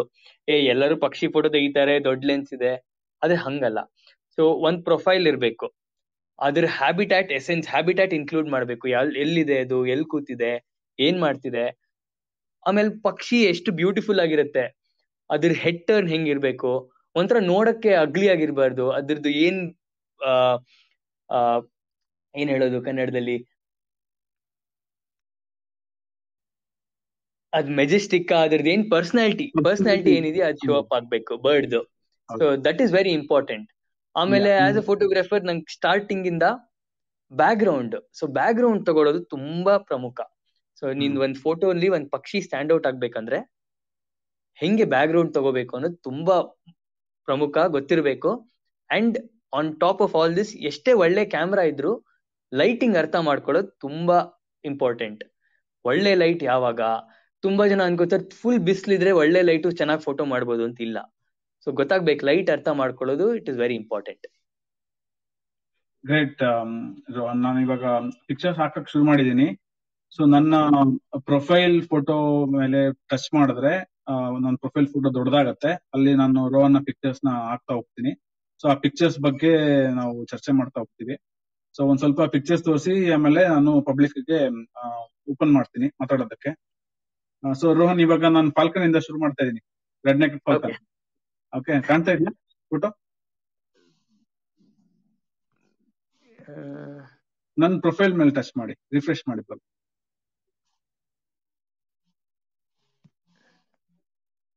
ಎಸ್ ಕಾಣಿಸ್ತಿದೆ. ಎಸ್ ಕಾಣಿಸ್ತಿದೆ. ಹ್ಮ್. ಸೊ ಇದು ನಾನು ಹೇಳ್ದಂಗೆ ಮಳೆಗಾಲ ಸ್ಟಾರ್ಟ್ ಆಗಿತ್ತು. ರೆಡ್ ನೆಕ್ ಫ್ಯಾಲ್ಕನ್ ಪೇರ್ ಒಂದು ಹೆಣ್ಣು ಒಂದ್ ಗಂಡು ಯಾವಾಗ್ಲೂ ಹಂಟ್ ಮಾಡ್ತಿತ್ತು. ಈ ಇಮೇಜ್ ಏನಿದೆ? ಸೊ ನನಗ್ ಫೋಟೋಗ್ರಫಿ ಮಾಡಕ್ ತುಂಬಾ ಇಷ್ಟ ಆಗಿರೋ ಲೈಟ್ ಅಂದ್ರೆ ಡಿಫ್ಯೂಸ್ ಲೈಟ್ ಮೋಡ ಇರ್ಬೇಕು. ಎಲ್ ಎಲ್ ಬಿಸಿಲು ಎಲ್ಲಿಂದನೂ ಇರಬಾರ್ದು ಮೋಡ ಇರ್ಬೇಕು. ಆ ಮೋಡ ಇದ್ದಾಗ ಒಂದು ಎಲ್ಲ ಆಂಗಲ್ ಇಂದ ಶೂಟ್ ಮಾಡ್ಬೋದು. ಬಿಕಾಸ್ ನಿಮ್ಗೆ ಎಲ್ಲಿಂದಲೂ ಲೈಟ್ ರೆಸ್ಟ್ರಿಕ್ಷನ್ ಇಲ್ಲ. ಇನ್ನೊಂದು ಈ ಡಿಫ್ಯೂಸ್ ಲೈಟ್ನಲ್ಲಿ ಆ ಕಾಂಟ್ರಾಸ್ಟ್ ಅಥವಾ ಕಲರ್ಸ್ ಏನಿದೆ, ನಿಮ್ಗೆ ಇನ್ ಯಾವ ಲೈಟ್ ಅಲ್ಲಿ ಈ ಕಾಂಟ್ರಾಸ್ಟ್ ಬರಲ್ಲ. ಸೊ ಇದೊಂದು ಫ್ಯಾಲ್ಕನ್ ಏನ್ ಮಾಡ್ತಿತ್ತು, ಎರಡು ಒಟ್ಟಿಗೆ ಇತ್ತು. ಆ, ಒಟ್ಟಿಗೆ ಕೂತಿದ್ವು. ಒಂದಕ್ಕೊಂದು ಫೀಡ್ ಮಾಡ್ತಿತ್ತು actually male and female feeding ಮಾಡ್ತಿತ್ತು. ಅದೇ ನಾನು ಅಪ್ರೋಚ್ ಮಾಡಿ ಹೋಗೋಷ್ಟರಲ್ಲಿ ಫಿಮೇಲ್ ಹಾರ್ಬಿಡ್ತು. ಆ ಮೇಲ್ ಹಾರ್ಬಿಡ್ತು, ಇದು ಫಿಮೇಲ್ ಸ್ವಲ್ಪ ಸೊ ಮೇಲ್ ಫಿಮೇಲ್ ಫ್ಯಾಲ್ಕನ್ನಲ್ಲಿ ಮೇಲ್ ಯಾವಾಗ್ಲೂ ಸಣ್ಣಗಿರುತ್ತೆ ಫಿಮೇಲ್ ಕಂಪ್ಯಾರಿಟಿವ್ಲಿ ದೊಡ್ಡದಾಗಿರುತ್ತೆ. ಸೊ ಇದು ಕೂತ್ಕೊಂಡಿತ್ತು. ಅದು ರೈನ್ ಫ್ಲೈ ತಿಂತಿದೆ. ಎಷ್ಟು ಕೋಆಪರೇಟಿವ್ ಅಂದ್ರೆ ನಾನು ಮಲ್ಕೊಂಡು ಆಲ್ಮೋಸ್ಟ್ ಒಂದ್ ಸ್ವಲ್ಪ ದೂರ ಹೋಗಿ ಎಷ್ಟ್ ಹತ್ರ ಹೋಗಿದೀನಿ ಅಂದ್ರೆ ಅದಕ್ಕೆ ಕೇರೆ ಇರ್ಲಿಲ್ಲ. ಅಂಡ್ ಒಂದ್ ಒಳ್ಳೆ ಪ್ರೊಫೈಲ್ ಬೇಕು ಸೈಡ್ ಪ್ರೊಫೈಲ್ ತಗೊಳ್ಳೋಣ ಅಂತ ಅಪ್ರೋಚ್ ಮಾಡಿ ಕಾಯ್ತಿದ್ದೆ ಸಡನ್ ಆಗಿ ತಲೆ ತೆಗೆದು ನನ್ನೇ ನೋಡ್ತಿತ್ತು. ಎಷ್ಟೇ ಅದ್ರ ಪರ್ಸನಾಲಿಟಿ ಇಲ್ಲ ನನ್ನ ಹತ್ರ ಹೋಗಿರೋದು ಅದಕ್ಕೆ. It is more focused on what it has to do so ಆ ಪರ್ಸನಾಲಿಟಿ ಆಮೇಲೆ ಆ ಸೈಡ್ ಪ್ರೊಫೈಲಿಂಗ್ ಕ್ಲೀನ್ ಆಗಿದೆ ಪ್ರೊಫೈಲು ಆಮೇಲೆ ಆ ಕಲರ್ಸ್ ಆ background complementing background ground level ಮಲ್ಕೊಂಡ್ ತೆಗಿಯೋ ಇಮೇಜಸ್ ಫೀಲೇ ಬೇರೆ ತರ ಇರುತ್ತೆ. ಇದು ಅಂತದ್ ಒಂದ್ ಇಮೇಜ್ ಆಗ್ಲೇ ರೋಹನ್ ಹೇಳ್ದಾಗೆ ಒಂದು ಚಿತ್ರದ ಬ್ಯಾಕ್ ಗ್ರೌಂಡ್ ಎಷ್ಟು ಮುಖ್ಯ ಆಗುತ್ತೆ ಫೋರ್ ಗ್ರೌಂಡ್ ಎಷ್ಟು ಮುಖ್ಯ ಆಗುತ್ತೆ ಬೆಳಕಿನ ಬಳಕೆ ಎಷ್ಟು ಮುಖ್ಯ ಆಗುತ್ತೆ ಅನ್ನೋದಕ್ಕೆ ಇದೊಂದು ಚಿತ್ರ. ಬೆಸ್ಟ್ ಎಕ್ಸಾಂಪಲ್ ಹೇಗೆ ಒಂದು ಏನೋ ನಾವು ಆಯ್ಕೆ ಮಾಡುವ ಬ್ಯಾಕ್ ಗ್ರೌಂಡ್ ಮತ್ತೆ ಫೋರ್ ಗ್ರೌಂಡ್ ಒಂದು ನಮ್ಮ ಸಬ್ಜೆಕ್ಟ್ನ ಎಷ್ಟು ಮಟ್ಟಿಗೆ ಹೈಲೈಟ್ ಮಾಡುತ್ತೆ. ಮತ್ತೆ ಎಷ್ಟು ಸಿಂಪಲ್ ಅಂಡ್ ಸ್ಟ್ರೇಟ್ ಫಾರ್ವರ್ಡ್ ಆಗಿ ಹೆಂಗೆ ತೋರಿಸೋದು ಅನ್ನೋದಕ್ಕೆ ಈ ಫಾಲ್ಕನ್ ಚಿತ್ರ ಒಂದು ಒಳ್ಳೆ ಎಕ್ಸಾಂಪಲ್ ಸೊ ಇವಾಗ ಇನ್ನೊಂದು ಫಾಲ್ಕನ್ ಫೋಟೋ ಹಾಕಿದೀನಿ ಬೆರೆಗ್ರಿನ್ ಫಾಲ್ಕನ್ ಅಲ್ವಾ ಇದು? ಬೆರೆಗ್ರಿನ್ ಫಾಲ್ಕನ್ ನೋಡಿ ರಿಫ್ರೆಶ್ ಮಾಡ್ಕೊಂಡು ನೋಡಿ. ಸೊ ಅದು ರಿಫ್ರೆಶ್ ಆಗಿ ನೋಡೋದಕ್ಕೆ ಮಧ್ಯದಲ್ಲಿ ನಾನೊಂದು ಸಣ್ಣ ಅನೌನ್ಸ್ಮೆಂಟ್ ಹೇಳ್ಬಿಡ್ತೀನಿ. ಸೊ ಇದು ನಮ್ಮ ನೆರಳು ಬೆಳಕು ರೂಮ್ ಇಲ್ಲಿ ನಾವು ಪ್ರತಿ ಮಂಗಳವಾರ ರಾತ್ರಿ ಎಂಟು ಗಂಟೆಗೆ ಒಬ್ಬ ವಿಶೇಷ ಛಾಯಾಗ್ರಾಹಕರನ್ನ ಕರ್ಕೊಂಡ್ಬಂದು ಫೋಟೋಗ್ರಫಿ ಬಗ್ಗೆ ಚರ್ಚೆ ಮಾಡ್ತೀವಿ. ಆಸಕ್ತರು ದಯವಿಟ್ಟು ನಮ್ಮ ರೂಮ್ನ ಫಾಲೋ ಮಾಡಿ, ಮತ್ತೆ ಪ್ರತಿ ಮಂಗಳವಾರ ನಮ್ ಜೊತೆ ಬನ್ನಿ. ಯಾರಿಗ ಆಸಕ್ತಿ ಇದೆ, ಮತ್ತೆ ನಮ್ಮ, ಏನೋ ಡಿಸ್ಕಷನ್ ಮುಖಾಂತರ ನಮ್ಮ ಫೋಟೋಗ್ರಫಿ ಜ್ಞಾನನ ವಿಸ್ತರಿಸ್ಕೊಳ್ಳೋಣ. ಎಸ್ ರೋನ್ ಓಕೆ ಇದು ಪೆರಿಗ್ರೈನ್ ಫ್ಯಾಲ್ಕನ್ ಹೌದು. ಇದು ನಮ್ಗೆ ವಿಂಟರ್ ಮೈಗ್ರೆಂಟ್ ಅಂಡ್ ಈ ಬರ್ಡ್ ಬೆಂಗಳೂರಿನಲ್ಲಿ ಸಿಗೋದು ತುಂಬಾ ಕಷ್ಟ. ತುಂಬಾ ಕಡಿಮೆ ಜನಕ್ಕೆ ಸಿಕ್ಕಿರೋದು. ಆ, ಇದು ಏನಾಯ್ತು ಅಂದ್ರೆ ಒಂದಿನ ಅರ್ಲಿ ಮಾರ್ನಿಂಗ್ ಹೋಗಿದ್ದೀವಿ. ಬೆಳಿಗ್ಗೆ ಬೆಳಿಗ್ಗೆ. ಆ ಸ್ಪ್ಯಾರೋ ಹಾಕ್ ಇರ್ಬೋದಲ್ಲ, ಏನೋ ಹಾರ್ತಲ್ಲ ಅಂತ ನೋಡಿದ್ವಿ. ನೋಡ್ರಿ, ಈ ಪೆರಿಗ್ರೈನ್ ಫ್ಯಾಲ್ಕನ್ನು ಇನ್ನ ಜಸ್ಟ್ ಸನ್ರೈಸ್ ಆಗಿತ್ತು, ಸೂರ್ಯ ಹುಟ್ಟಿತ್ತು. ಆಲ್ರೆಡಿ ಡಕ್ಸ್ನ ಹಿಡಿಬೇಕು ಅಂತ ಫುಲ್ ಎಲ್ಲಾ ಕಡೆ ಈ ಗ್ರೇಟ್ಸ್ ಡಕ್ಸ್ ಎಲ್ಲಾ ಪಕ್ಷಿ ಹಾರಾಡ್ತಿತ್ತು. ಏನಪ್ಪಾ, ಇದು ಬೇರೆ ತರ ಇದೆಯಲ್ಲ ಅಂತ ನೋಡ್ರಿ ಪೆರಿಗ್ರೈನ್ ಫ್ಯಾಲ್ಕನ್ ನಾನ್ ತುಂಬಾ ವರ್ಷದಿಂದ ಈ ಫ್ಯಾಲ್ಕನ್ ತೆಗಿಬೇಕು ಅಂತ ತುಂಬಾ ಆಸೆ ಇತ್ತು. ಅಂಡ್ ಇದೇನಾಯ್ತು? ಒಂದು ಹಂಟ್ ಮಿಸ್ ಆಯ್ತು. ಬಂದು ಕುತ್ಕೋತು ಆ, ಬೆಳಿಗ್ಗೆ ಬೆಳಿಗ್ಗೆ ಗ್ರಾಸ್ ಲ್ಯಾಂಡ್ ಅಲ್ಲಿ ಡ್ಯೂ ಡ್ರಾಪ್ಸ್ ಇರೋದ್ರಿಂದ ಒದ್ದೆ ಇದೆಯಲ್ಲ? ಆ ಒದ್ದೆ ಆಗಿತ್ತು. ಅದಕ್ಕೆ ತುಂಬಾ ಹಂಟ್ ಮಾಡಿ ವಿಂಗ್ಸ್ ಒದ್ದೆ ಆಗಿತ್ತು. ಕೆಳಗಡೆ ಟಾರ್ಸು ಒದ್ದೆ ಆಗಿತ್ತು ಅಂದ್ಬಿಟ್ಟು ಈ ಬರ್ಡ್ ಬಿಸಿಲಿಗೆ ವೆಯ್ಟ್ ಮಾಡ್ತಿತ್ತು. ಬಿಸಿಲು ಕಾಯಿಸ್ಕೊಂಡು ಡ್ರೈ ಮಾಡ್ಕೊಂಡು ಮತ್ತೆ ಹಂಟ್ಗೆ ಹೋಗೋಣ ಅಂತ. ಅಂತ ಒಂದು ಆಪರ್ಚುನಿಟಿ ತಗೊಂಡು ಈ ಬರ್ಡ್ ಗೋಸ್ ನಾನು ಹೇಳ್ದಂಗೆ ಗ್ರೌಂಡ್ ಲೆವೆಲ್ ಶಾರ್ಟ್ಸ್ ತೆಗಿಯೋದು it is a next level feel foreground background ಎಲ್ಲ ಎಷ್ಟು ಚೆನ್ನಾಗಿ ಕಾಣುತ್ತೆ, ಹೆಂಗೆ ಬರ್ಡ್ ಸೆಪರೇಟ್ ಆಗುತ್ತೆ that is the main thing ಮಲ್ಕೊಂಡು ಅಪ್ರೋಚ್ ಮಾಡಿ ಆಲ್ಮೋಸ್ಟ್ ಇನ್ನೊಂದು ಕೀ ಅಪ್ರೋಚ್ ಮಾಡೋದು ಹೆಂಗೆ ಅಂದ್ರೆ ರ್ಯಾಪ್ಟರ್ಸ್ಗೆ ಯಾವತ್ತು ಸೂರ್ಯ ನಿಮ್ ಹಿಂದೆ ಇರಬೇಕು. ಅಂಡ್ ಬರ್ಡ್ನ ನೀವು ಜಾಸ್ತಿ ಅಜಿಟೇಟ್ ಮಾಡಬಾರ್ದು. ಸ್ಲೋ ಆಗಿ ಅದು ಯಾವಾಗ ನೋಡ್ತಿಲ್ವೋ ಸಡನ್ ಮೂವ್ಮೆಂಟ್ ಮಾಡಬಾರ್ದು. ಸ್ಲೋ ಆಗಿ ಲೀನಿಯರ್ ಅಪ್ರೋಚ್ ಮಾಡಬೇಕು. ಆ ತರ ಮಾಡ್ಕೊಂಡು ಹತ್ರ ಹೋಗಿ ಇಪ್ಪತ್ತಿಂದ ಇಪ್ಪತ್ತೈದು ನಿಮಿಷ ಸ್ಪೆಂಡ್ ಮಾಡಿರೋದು ಈ ಬರ್ಡ್ ಜೊತೆ. And it was a very memorable early morning session so yes that is about peregrine falcon fantastic Rohan ನಿಮ್ಮ ಕೀ ಸೀಕ್ರೆಟ್ ಬಿಟ್ಕೊಡ್ಬಿಟ್ರಲ್ಲ? ಓಕೆ ನಾನು ಇನ್ನೊಂದು ಫೋಟೋ ಬದಲಾಯಿಸ್ತಾ ಇದೀನಿ ಬದಲಾಯಿಸಕ್ ಮುಂಚೆ ಒಂದು ಪ್ರಶ್ನೆ ಕೇಳ್ಬಿಡ್ತೀನಿ. ನಮ್ಮ ಪರಿಸರದಲ್ಲಿ ಈ ಹಿಂಸ್ರ ಪಕ್ಷಿಯ, ಅಂದ್ರೆ ರಾಪ್ಟರ್ಸ್ನ ಪ್ರಾಮುಖ್ಯತೆ ಏನು? ಹಿಂಗೆ ಇವಾಗ ಈಕೋಸಿಸ್ಟಮ್ ಅಥವಾ ಲೈಫ್ ಸೈಕಲ್ ಫುಡ್ ಚೈನ್ ಅಲ್ಲಿ ನೀವೆಲ್ಲ ನೋಡಿರ್ಬೋದು ಬೇಸಿಕ್ ಫುಡ್ ಚೈನ್ ಎಲ್ಲರೂ ನಾವು ಚಿಕ್ಕವರಿದ್ದಾಗಲೇ ಕಲಿತೀವಿ. So raptors are also very important part ಇವಾಗ ರೋಡೆಂಟ್ಸ್ ಅಂದ್ರೆ ಇಲಿಗಳು ಅಂತ ಜಾಸ್ತಿ ಆದ್ರೆ ಅದ್ರ ಪಾಪ್ಯುಲೇಷನ್ ಕಂಟ್ರೋಲ್ ಮಾಡಕ್ ಈ ರಾಪ್ಟರ್ಸ್ ಇರೋದು. ಅದೇ ತರ ಯಾವುದೇ ಪಕ್ಷಿ, ಇವಾಗ ಚಿಕ್ಕ ಪಕ್ಷಿ ತುಂಬಾ ಜಾಸ್ತಿ ಯಾವ್ದು ತುಂಬಾ ಜಾಸ್ತಿ ಆಗುತ್ತೋ ಅದು ಒಳ್ಳೇದಲ್ಲ. ಸೊ ಎಲ್ಲ ಲೈಫ್ ಅಲ್ಲಿ ಕಂಟ್ರೋಲ್ ಆಗ್ಬೇಕು ಅಂತಾನೆ ಲೈಫ್ ಸೈಕಲ್ ಅಥವಾ ಫುಡ್ ಚೈನ್ ಅಂತ ಏನಿದೆ ಗೆ ಇವೆಲ್ಲ ತುಂಬಾ ಪ್ರಾಮುಖ್ಯತೆ ಕೊಡ್ಬೇಕು ನಾವು. And raptors are one among them in the food chain super ರಾನ್ ಇವಾಗ ಒಂದು ಫೋಟೋ ಹಾಕಿದೀನಿ ದಯವಿಟ್ಟು ನನ್ನ ಡಿಪಿ ಮೇಲೆ ಟಚ್ ಮಾಡಿ ದೊಡ್ಡದ್ ಮಾಡ್ಕೊಂಡು ನೋಡಿ ರಿಫ್ರೆಶ್ ಮಾಡ್ಬಿಟ್ಟು. ಎಸ್ ಸೊ ಇದು ನಾನು ಹೇಳ್ದಂಗೆ ನಮ್ ಟಾನಿ ಈಗಲ್ ಅಂಡ್ ಈ ಇಂಡಿವಿಜುವಲ್ ನಂಗೆ ತುಂಬಾ ಹತ್ರ ಆಗಿದೆ ಇಂಡಿವಿಜುವಲ್ ಇದು ಸ್ವಲ್ಪ ಜುವಿನೈಲ್ ಅಂದ್ರೆ ಹುಟ್ಟಿದ್ದು ಒಂದ್ ವರ್ಷ ಆದ್ಮೇಲಿಂದ ಮೂರ್ ವರ್ಷದವರೆಗೂ ನೋಡಿದೀವಿ. Until it became an adult so ಈ ಬರ್ಡ್ ಹೆಂಗಾರೆ ತುಂಬಾ ಬೋಲ್ಡ್ ಇತ್ತು. ಅಭ್ಯಾಸ ಆಗ್ಬಿಟ್ಟಿತ್ತು ಅದಕ್ಕೆ. ನಾವು ಹೋಗೋದು, ಓಡಾಡೋದೆಲ್ಲ. ಅಂಡ್ ಮಳೆ ಆಗಿದ ಕೂಡ್ಲೆ ನಮ್ಮ ಗ್ರಾಸ್ ಲ್ಯಾಂಡ್ ಅಲ್ಲಿ ಈ ತರ ಬ್ಯೂಟಿಫುಲ್ ಹೂವುಗಳು ಬೆಳೆಯುತ್ತೆ. ಸಖತ್ ವೆಜಿಟೇಷನ್ ಇರುತ್ತೆ. ಈ ಪಕ್ಷಿ ಏನ್ ಮಾಡಿತ್ತು? ಒಂದ್ ಇಲಿ, ಇಲಿನ ಹಿಡ್ಕೊಂಡ್ ಬಿಟ್ಟಿದೆ. ಆದ್ರೆ ಇಲಿನ್ ತಿಂತಿಲ್ಲ. ಹೆಂಗೆ ಬೆಕ್ ಆಟ ಆಡುತ್ತಲ್ಲ ಬೆಕ್ ಆಟ ಇಲಿನ ಬಿಡೋದು, ಸ್ವಲ್ಪ ದೂರ ಹೋಗ್ಬಿಟ್ಟು ಮತ್ತೆ ಹಾರೋದು, ಇಲಿ ಮೇಲೆ ಕಾಲಿಡೋದು. ಇಲಿ ಇನ್ನ ಸತ್ತಿರ್ಲಿಲ್ಲ, ಓಡಾಡ್ತಿತ್ತು, ಆಟ ಆಡ್ತಿತ್ತು ಇದು ಬೆಳಿಗ್ಗೆ ಏನಂದ್ರೆ ಅದಕ್ಕೆ ತಿನ್ನೋ ಮೂಡ್ ಇರ್ಲಿಲ್ಲ, ಆಟ ಆಡೋ ಮೂಡ್ ಇತ್ತು. ಇಪ್ಪತ್ತೈದ್ ನಿಮಿಷ ಎಲ್ಲಾ ಕಡೆ ಓಡಾಡ್ಸ್ಕೊಂಡು, ಆಟ ಆಡ್ಕೊಂಡು ಕೊನೆಗ್ ಇದ್ವಂದ್ ಸೆಟ್ಟಿಂಗ್ ಅಲ್ಲಿ ಹೋಗಿ ಕುತ್ಕೋತು. ಅಂಡ್ ಜಸ್ಟ್ ಟೂ ಮಿನಿಟ್ಸು ಇಲ್ಲ. ಇಳ್ದ್ಬಿಟ್ಟು ಒಂದೆರಡು ಫ್ರೇಮ್ ತೆಗ್ದಿ ಆ ಕಾಂಪೋಸಿಷನ್ ಸೊ ನಾನ್ ಇದ್ರಲ್ಲಿ ಏನ್ ನೋಡ್ಸಕ್ ಮಾಡಿದೀನಿ ಅಂದ್ರೆ ಮಾನ್ಸೂನ್ ಫೀಲ್ ಈ ಬರ್ಡ್ ನನ್ ಹೆಂಗೆ ಮಾನ್ಸೂನ್ ಅಲ್ಲಿ ಬರುತ್ತೆ, ಮಳೆಗಾಲದಲ್ಲಿ ಬರುತ್ತೆ ಅನ್ನಲ್ಲ. ಸೊ ನೀವ್ ಅದ್ರ ಅಕ್ಕಪಕ್ಕ ಎಲ್ಲ ನೋಡಿದ್ರೆ it is lush green and colourful so ಈ ಬರ್ಡ್ ಮಾನ್ಸೂನ್ ಅಲ್ಲಿ ಬರುತ್ತೆ, ಆ ಮಾನ್ಸೂನ್ ಕಲರ್ಸ್ ಡಿಪಿಕ್ಟ್ ಮಾಡಕ್ಕೆ this is the right image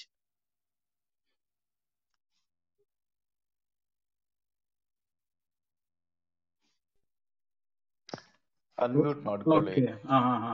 ಮಾಡ್ಕೊಂಡೆ. ಸೊ ಇವಾಗ ಒಂದು ಫೋಟೋ ಹಾಕಿದೀನಿ ರಿಫ್ರೆಶ್ ಮಾಡ್ಕೊಂಡು ನೋಡಿ. ಒಂದ್ಸಲ ಕ್ಲೋಸ್ ಮಾಡಿ ಮತ್ತೆ ಓಪನ್ ಮಾಡಿ.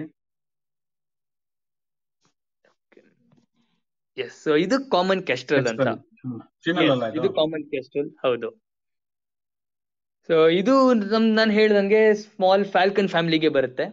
ಅಂಡ್ ಇದು ಚಿಕ್ಕ ಇದು ಗಾರ್ಡನ್ ಲಿಸರ್ಡ್ ಓತಿಕೆತ್ತ ಅಂತದ್ದು ಚಿಕ್ಕ ಚಿಕ್ಕದ ಏನ್ ಸಿಗುತ್ತೋ ಅವೆಲ್ಲ ಹಿಡಿಯುತ್ತೆ.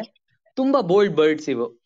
ಆ, ಬೆಂಗಳೂರಿನಲ್ಲಿ ಮುಂಚೆ ಟೂ ತೌಸಂಡ್ ಟೆನ್ ಲೆವೆನ್ ಅಲ್ಲಿ ಏನಿಲ್ಲ ಅಂದ್ರು ಒಂದೇ ಕೆರೆಗೆ ನಲ್ವತ್ತೈದರಿಂದ ಐವತ್ ಕೆಸ್ಟಲ್ಗಳು ಬರೋದಂತೆ ಅಂತ ಕೇಳಿದೀನಿ ನಾನು. ನಾನು ಟ್ವೆಂಟಿ ತರ್ಟೀನ್ ಅಲ್ಲಿ ಫಸ್ಟ್ ಸ್ಟಾರ್ಟ್ ಮಾಡಿದಾಗ ಒಂದ್ ಇಪ್ಪತ್ತರಿಂದ ಇಪ್ಪತ್ತೈದು ಕೆಸ್ಟಲ್ ನೋಡಿದ್ದೆ.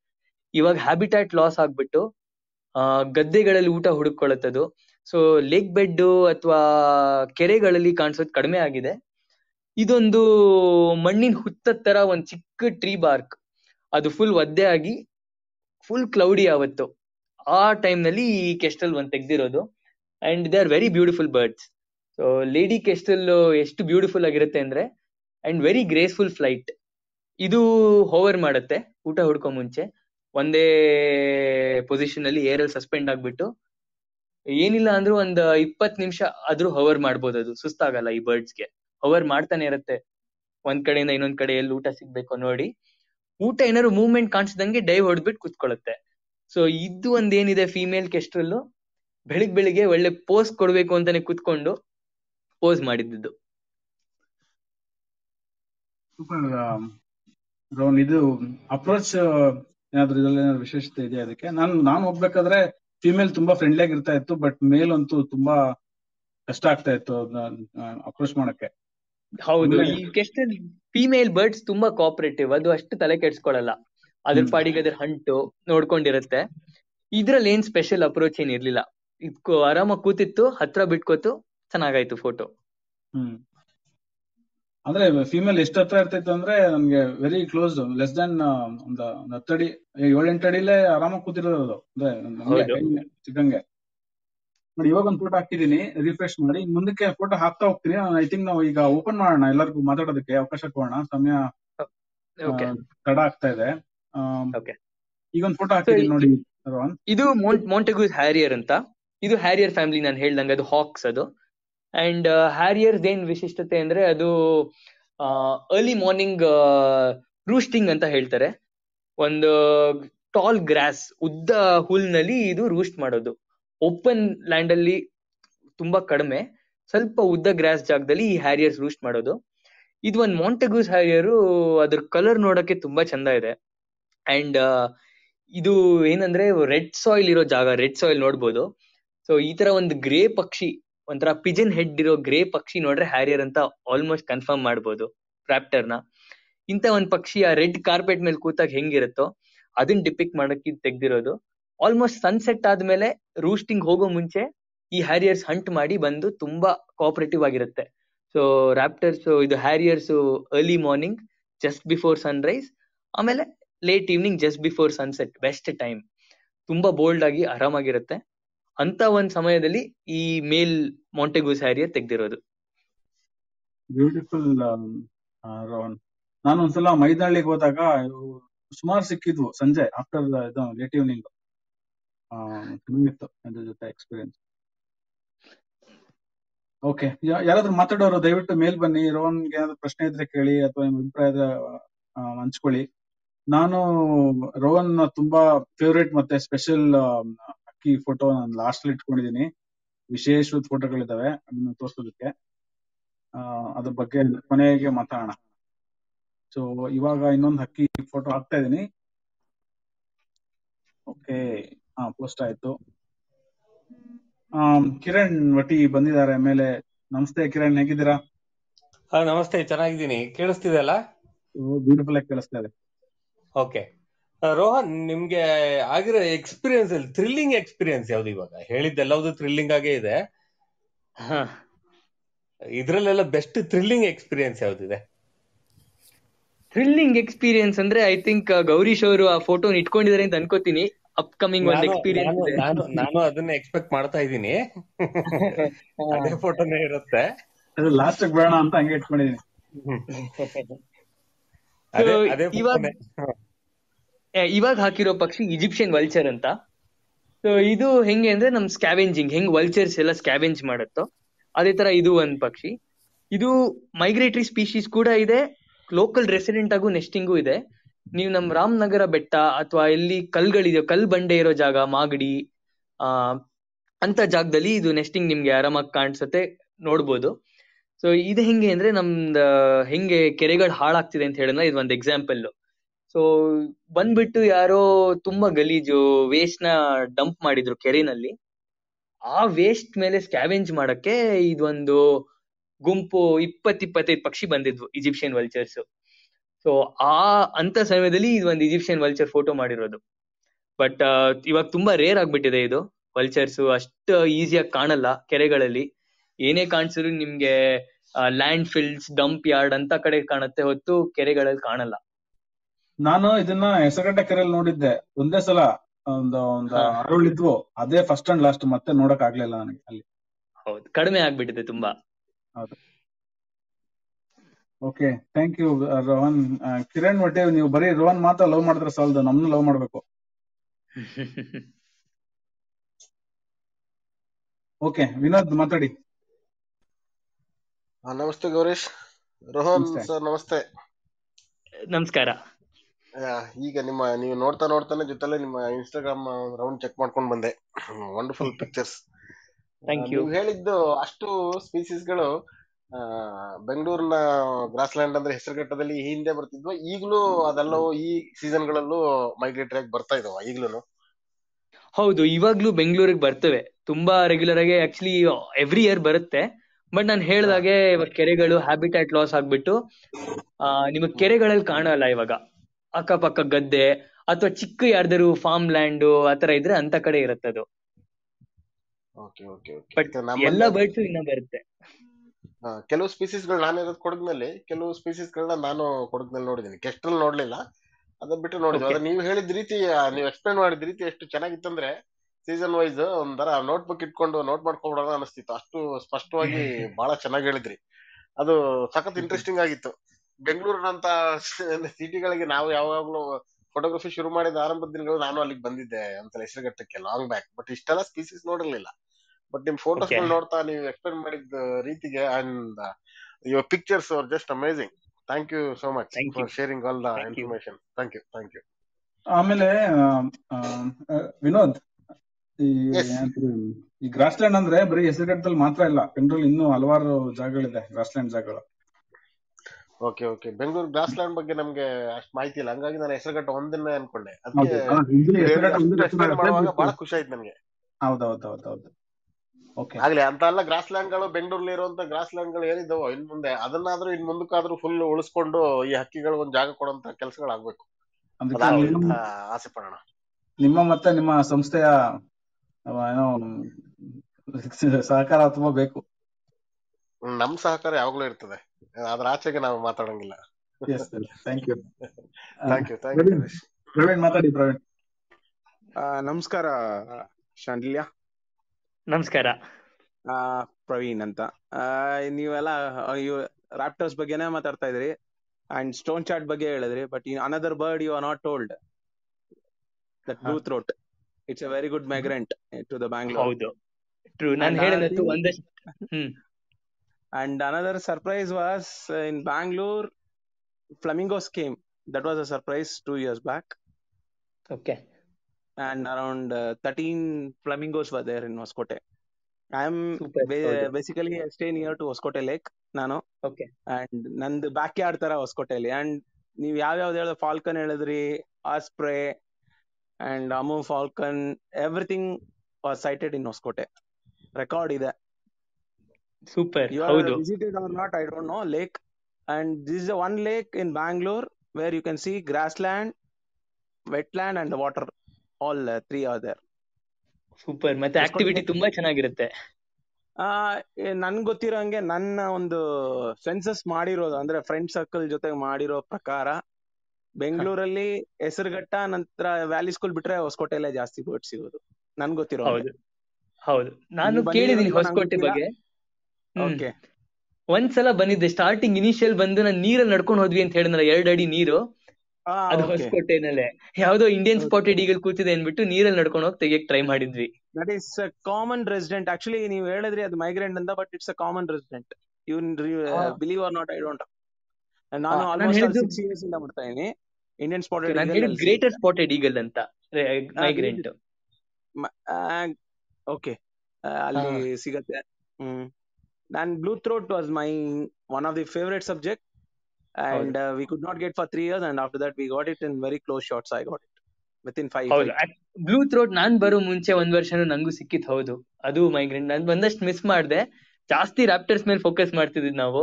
ಚಿಕ್ ಚಿಕ್ ಬರ್ಡ್ಸ್ ರಾಪ್ಟರ್ಸ್ ಹುಡುಕ್ತಾ ಏನ್ ಸಿಕ್ತಿತ್ತೋ ತೆಗಿತಿದ್ವಿ. ಬಟ್ ಅಷ್ಟ್ ಇಂಟ್ರೆಸ್ಟ್ ಇಲ್ಲ. ರಾಪ್ಟರ್ಸ್ ಮೇಲೆ ಜಾಸ್ತಿ. Okay okay nice nice nice okay thank you thank you thank you so Rohan ನಾನು ನೆಕ್ಸ್ಟ್ ನೆಕ್ಸ್ಟ್ ಇನ್ನೊಬ್ರ ಹತ್ರ ಹೋಗಕ್ ಮುಂಚೆ ನಂದು ಒಂದು ಪ್ರಶ್ನೆ ಕೇಳ್ತೀನಿ. ಸೊ ಯೂಶಲಿ ಬರ್ಡಿಂಗ್ ಮಾಡ್ಬೇಕಾದ್ರೆ ನಮ್ಗೆ ನಾವು ಬರ್ಡ್ ಮೇಲೆ ಜಾಸ್ತಿ ಫೋಕಸ್ಡ್ ಆಗಿರ್ತೀವಿ. ಅದನ್ನ ಅಪ್ರೋಚ್ ಮಾಡೋ ಕಡೆ ಜಾಸ್ತಿ ಫೋಕಸ್ಡ್ ಆಗಿರ್ತೀವಿ. ಯಾಕಂದ್ರೆ ಎಲ್ ಆರೋಗ್ ಬಿಡುತ್ತೋ ಅನ್ನೋ ನಾವು ಇದ್ರಲ್ಲಿ ಇರ್ತೀವಿ. ಆಮೇಲೆ ಅದ್ರದ್ದು ಬಿಹೇವಿಯರ್ಸ್ ಅಥವಾ ಅದನ್ನ ಅಕ್ಕಿ ಕಡೆ ಜಾಸ್ತಿ ಫೋಕಸ್ಡ್ ಆಗಿರೋದ್ರಿಂದ ನಾವು ಫೋಟೋಗ್ರಾಫಿಕ್ ಪಾಯಿಂಟ್ ಆಫ್ ವ್ಯೂ ನಲ್ಲಿ ನಮ್ಮ ಕಂಪೋಸಿಷನ್ ಬಗ್ಗೆ ಮತ್ತೆ ಬ್ಯಾಕ್ ಗ್ರೌಂಡ್ ಬಗ್ಗೆ ಅಥವಾ ಇತರೆ ಟೆಕ್ನಿಕಲ್ ಬಗ್ಗೆ ಅಥವಾ ಕ್ರಿಯೇಟಿವ್ ಆಗಿ ಇದನ್ನ ಹೆಂಗ್ ಕಂಪೋಸ್ ಮಾಡೋದು ಆತರ ಕ್ರಿಯೇಟಿವ್ ಆಸ್ಪೆಕ್ಟ್ ಅಲ್ಲಿ ಮಾಡುವಷ್ಟು ಸಮಯ ನಮ್ಗೆ ಕಡಿಮೆ ಇರುತ್ತೆ. ಅದ್ರ ಮಧ್ಯದಲ್ಲೇ ನಾವು ಏನ್ ಬೆಸ್ಟ್ ಮಾಡಕ್ಕಾಗತ್ತೆ ಅಂತ ನಾವು ಪ್ಲಾನ್ ಮಾಡ್ಕೊತಾ ಇರ್ತೀವಿ. The planning of an image what kind of image and from where out to capture ಅಂತ. ಸೊ ಈ ಕಾಂಟೆಕ್ಸ್ಟ್ ಅಲ್ಲಿ ನಮ್ಮ ಯೋಚನೆ ಮತ್ತು ಸಿದ್ಧತೆಗಳು ಹೇಗಿರ್ಬೇಕು ಅಂತ ಸ್ವಲ್ಪ ಹೇಳಿದ್ರೆ ಹೊಸ ಹುಡುಗರಿಗೆ ಅನುಕೂಲ ಆಗುತ್ತೆ. ಸೊ ವೈಲ್ಡ್ ಲೈಫ್ನಲ್ಲಿ ತುಂಬಾ ಜನ ಅನ್ಕೋತಾರೆ ಕರೆಕ್ಟ್ ಇನ್ಸ್ಟಂಟೇನಿಯಸ್ ಆ ಮೊಮೆಂಟ್ ಏನಾಗುತ್ತೋ ಕ್ಯಾಪ್ಚರ್ ಮಾಡ್ಬೇಕು. ಹೌದು ವೆರಿ ಟ್ರೂ ಬಟ್ ಈ ತರ ಬರ್ಡಿಂಗ್ ಬಂದು ಒಂದ್ ತುಂಬಾ ರೇರ್ ಬರ್ಡ್ ಪಾಸರ್ ಬೈ ಹತ್ರ ನಿಮ್ ಚಾನ್ಸಸ್ ಕಡಿಮೆ ಇರ್ಬೋದು. ಒಂದ್ ಬರ್ಡ್ ಯಾವ್ದಾದ್ರು ಸ್ಟೇ ಮಾಡತ್ತೆ ಅಂತ ಗೊತ್ತು, ನಿಮ್ಗೆ ಅರ್ಥ ಆಗಿದ್ರೆ, ಅದ್ರ ಬಿಹೇವಿಯರ್ ಅರ್ಥ ಮಾಡ್ಕೊಂಡ್ರೆ ನಿಮ್ಗೆ ಗೊತ್ತಾಗುತ್ತೆ ಯಾವ ಹ್ಯಾಬಿಟಾಟ್ ಅಲ್ಲಿ ಏನ್ ಕಾಂಪೋಸಿಷನ್ ಮಾಡ್ಬೋದು ಅಂತ. ಬಟ್ ನೀವ್ ಹೇಳಿದಾಗ ಎವ್ರಿ ಟೈಮ್ ಆತರ ಟೈಮ್ ಇರಲ್ಲ. So you should do the best what you can ಅದಕ್ಕೆ ಏನ್ ಮಾಡ್ಬೇಕಂದ್ರೆ ನಾನ್ ಹೇಳೋದು ಯಾವಾಗ್ಲೂ ಕ್ಯಾಮ್ರಾ ಸೆಟ್ಟಿಂಗ್ ಫಸ್ಟ್ ರೆಡಿ ಮಾಡಿ ಇಟ್ಕೊಂಡಿರ್ಬೇಕು. ಅಂಡ್ ಮೋಸ್ಟ್ ಇಂಪಾರ್ಟೆಂಟ್ ಸೆಟ್ಟಿಂಗ್ ಇಲ್ಲ ಅಂದ್ರೂ ಓಕೆ ಇವಾಗ ರಿಕವರಿ ಸಾಫ್ಟ್ವೇರ್ ಗಳಿದೆ ಅಂಡರ್ ಎಕ್ಸ್ಪೋಸ್ ಓವರ್ ಎಕ್ಸ್ಪೋಸ್ ಮಾಡಿದ್ರೆ. ಆದ್ರೆ ಕಾಂಪೋಸಿಷನ್ ಆಮೇಲೆ ಲೈಟಿಂಗ್ ಏನಿದೆ, ತುಂಬಾ ಇಂಪಾರ್ಟೆಂಟ್ ಯಾವತ್ತು ಲೈಟ್ ಹಿಂಬಾಗ್ ಬರ್ಡ್ ಹಿಂದ್ಗಡೆ ಇರೋದು, ನಿಮ್ ನಿಮ್ ಆಪೋಸಿಟ್ ಇರೋದು ಸೈಡ್ ಅಲ್ಲಿ ಇರೋದು, ಹಂಗೆಲ್ಲ ವರ್ಕ್ ಆಗಲ್ಲ. ಸೊ ಫಸ್ಟ್ ಲೈಟಿಂಗ್ ನೋಡ್ಕೋಬೇಕು. ಏನಾದ್ರು ಡಿಸ್ಟ್ರಾಕ್ಷನ್ ಇದೆ ನೋಡ್ಕೋಬೇಕು ಬರ್ಡ್ ಅಕ್ಕಪಕ್ಕ. ಯಾವ ತರ ಪ್ರೊಫೈಲ್ ಬೇಕು ಅಂತ ನೋಡ್ಕೋಬೇಕು. ನನಗ್ ಸೈಡ್ ಪ್ರೊಫೈಲ್ ಅಂದ್ರೆ ತುಂಬಾ ಇಷ್ಟ. ಯಾಕಂದ್ರೆ ಒಂದ್ ಬರ್ಡ್ ಎಲ್ಲಾ ಫೀಚರ್ಸ್ ಕಾಣುತ್ತೆ. From the head till the tail tip ಅದ್ರ ಕಾಲ್ಗಳು, ಆಮೇಲೆ ಎಲ್ಲಾ ಕಲರ್ ನೋಡ್ಸತ್ತೆ. ಒಂದ್ ಸೈಡ್ ಪ್ರೊಫೈಲ್ ಅಂತ ತೆಗೆದ್ರೆ you can see all the features and the colours so ಇದಕ್ ಪ್ರಾಮುಖ್ಯತೆ ಕೊಟ್ಬಿಟ್ಟು ಒಂದ್ಸಲ ಅಪ್ರೋಚ್ ಮಾಡಿ, ಅವ, ಅದಾದ್ಮೇಲೆ ಏನೇ ಆದ್ರೂ ಅದ್ ಹಾರಿದ್ರು, ಒಳ್ಳೆ ಟೇಕ್ ಆಫ್ ಶಾಟ್ ಸಿಗ್ಬೋದು. ಸೊ ಇಟ್ಸ್ ಆಲ್ ಅಬೌಟ್ ತಾಳ್ಮೆ ಇರಬೇಕು ಒಂದು. ಅಂಡ್ ನನ್, ನಾನ್ ಮಾಡಿರೋ ಇಮೇಜಸ್ ವೆರಿ ಫ್ಯೂ ಆರ್ ಒಂಥರ ಫಸ್ಟ್ ಟೈಮ್ ನೋಡಿ ಫಸ್ಟ್ ಟೈಮ್ ಶಾರ್ಟ್ ಮಾಡಿರೋದು. Most of them are wait ಮಾಡಿ ಅರ್ಥ ಮಾಡ್ಕೊಂಡು ಹೆಂಗ್ ಬೇಕೋ ಅವ್ನ್ ತೆಗ್ದಿರೋದೇ ಜಾಸ್ತಿ. ಟೈಮ್ ತಗೊಂಡ್ ತೆಗ್ದಿರೋದು ಜಾಸ್ತಿ. Okay thank you so next Sagar ಮಾತಾಡಿ ದಯವಿಟ್ಟು. ಹಾಯ್ ಹಾಯ್ ರೋಹನ್ ಹೆಂಗಿದ್ದೀರಾ? ಹಾಯ್ ಚೆನ್ನಾಗಿದ್ದೀನಿ. ಓಕೆ ಹೆಂಗಿದೆ ಸ್ವೀಡನ್ ಸ್ವೀಡನ್ ಚೆನ್ನಾಗಿದೆ. ಓಕೆ ಅರೋರಾ ಏನಾರು ಲಕ್ ಇತ್ತ? ರ- ನೀವು ಹೋದಾಗ?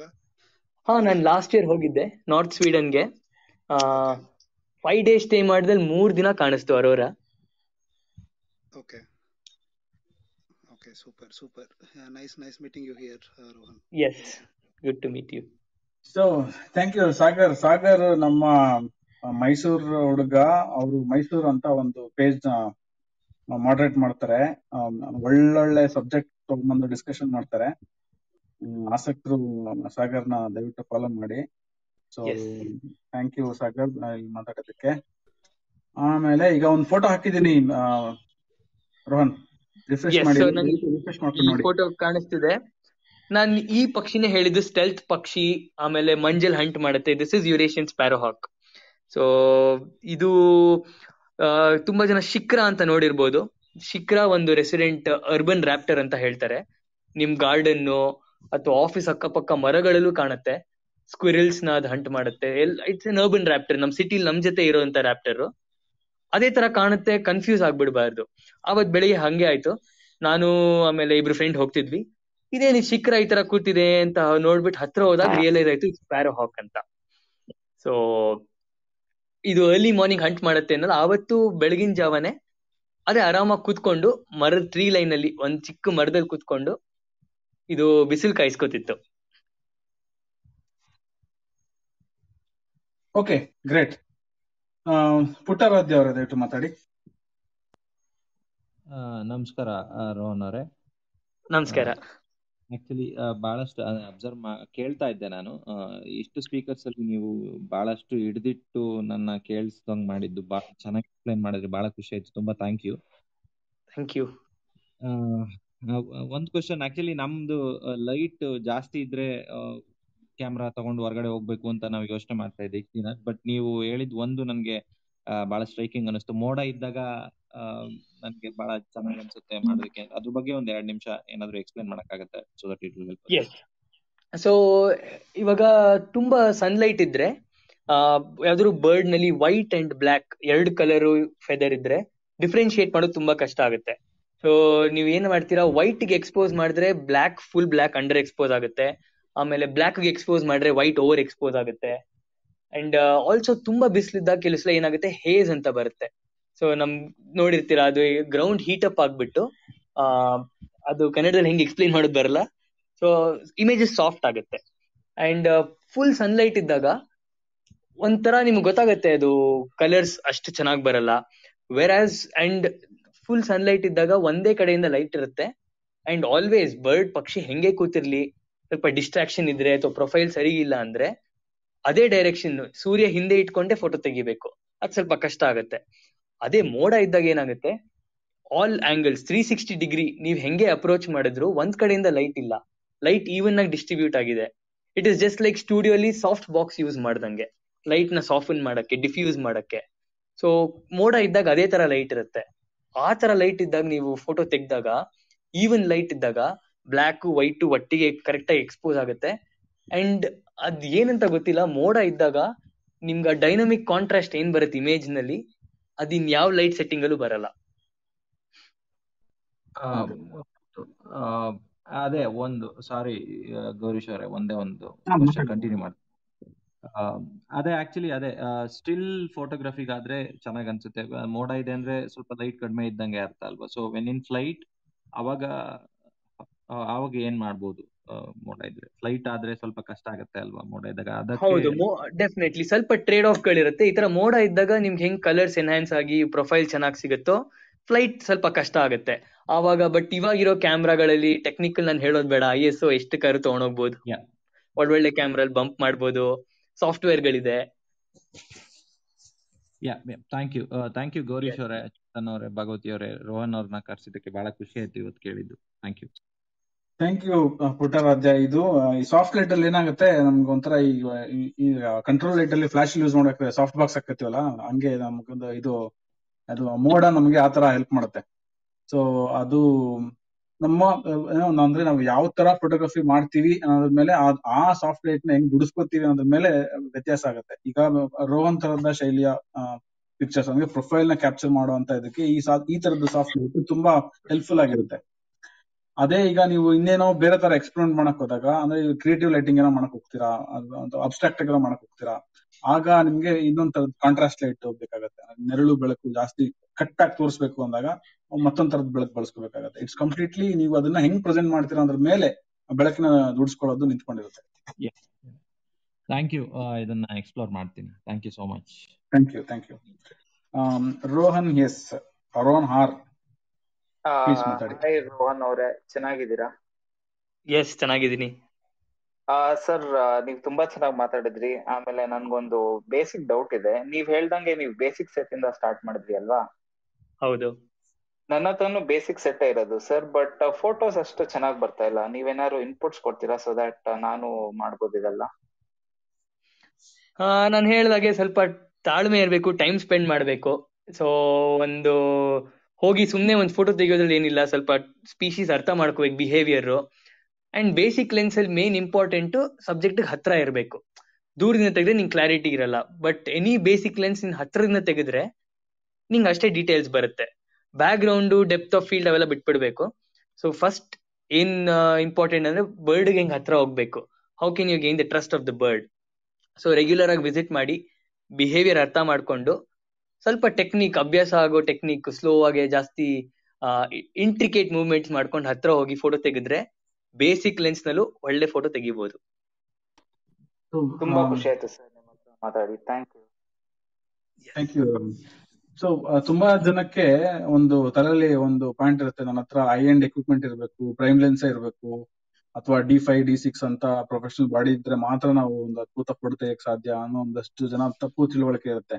ಹಾಗ್ ನೋಡಿದ್ರೆ ರೋಹನ್ ಹತ್ರ ಆ- ತರದ್ದು ಯಾವುದೇ ಎಕ್ವಿಪ್ಮೆಂಟ್ ಗಳಿಲ್ಲ. ಅಂದ್ರೆ ಇರೋ ಬೇಸಿಕ್ ಎಕ್ವಿಪ್ಮೆಂಟ್ ಅಲ್ಲಿ ಅಥವಾ ಒಂದು ಲಿಮಿಟೆಡ್ ಎಕ್ವಿಪ್ಮೆಂಟ್ ಅಲ್ಲಿ ರೋಹನ್ ವರ್ಕ್ ರಿಮಾರ್ಕಬಲ್ ಅಂದ್ರೆ ಆ ಪಿಕ್ಚರ್ಸ್ ನೋಡಿದ್ರೆ ಅದೆಲ್ಲ ಪ್ರೈಮ್ ಲೆನ್ಸ್ ಅಲ್ಲಿ ಶೂಟ್ ಮಾಡಿರೋ ತರ ಇದೆ. ಸೊ ಓನ್ಲಿ ಥಿಂಗ್ ಈಸ್ ಇದರಿಂದ ನಮ್ಗೆ ಏನ್ ಅರ್ಥ ಆಗುತ್ತೆ ಅಂತಂದ್ರೆ ನಮ್ಮ ಹತ್ರ ಇರೋ ಎಕ್ವಿಪ್ಮೆಂಟ್ನ ನಾವು ಎಷ್ಟು ಚೆನ್ನಾಗಿ ದುಡಿಸ್ಕೋಬೇಕು ಅನ್ನೋದು ನಮ್ಗೆ ಗೊತ್ತಿರಬೇಕು. ಅಂದ್ರೆ ಅದ್ರದ್ದು ಪ್ಲಸ್ ಏನು ಮೈನಸ್ ಏನು ಅದನ್ನ ಪಾಸಿಬಿಲಿಟೀಸ್ ಮತ್ತೆ ಅದ್ರ ಲಿಮಿಟೇಷನ್ಸ್ ಏನು ಇವನ್ನ ಅರ್ಥ ಮಾಡ್ಕೊಂಡು, ಅರ್ಥ ಮಾಡ್ಕೊಂಡಾಗ ಜೊತೆಗೆ ನಾವು ಒಂದು ಸಬ್ಜೆಕ್ಟ್ನ ಜೊತೆ ಸಬ್ಜೆಕ್ಟ್ನ ಎಷ್ಟು ನಾವು ಅರ್ಥ ಮಾಡ್ಕೋತೀವಿ ಒಂದು ಸಬ್ಜೆಕ್ಟ್ ಜೊತೆ ನಾವು ಎಷ್ಟು ಸಮಯ ಕಳಿತೀವಿ ಅದ್ರ ಮೇಲೆ ಒಂದು ಚಿತ್ರದ ಕ್ವಾಲಿಟಿ ಡಿಪೆಂಡ್ ಆಗುತ್ತೆ. ಸೊ ಈ ಎರಡು ಅತಿ ಮುಖ್ಯವಾದ ಅಂಶಗಳು.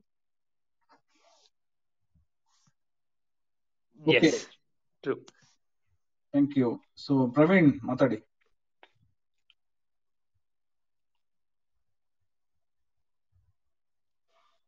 ಹಲೋ ಹಾ ಹಲೋ ಕೇಳಿಸ್ತಾ ಇದೆ ಪ್ರವೀಣ್.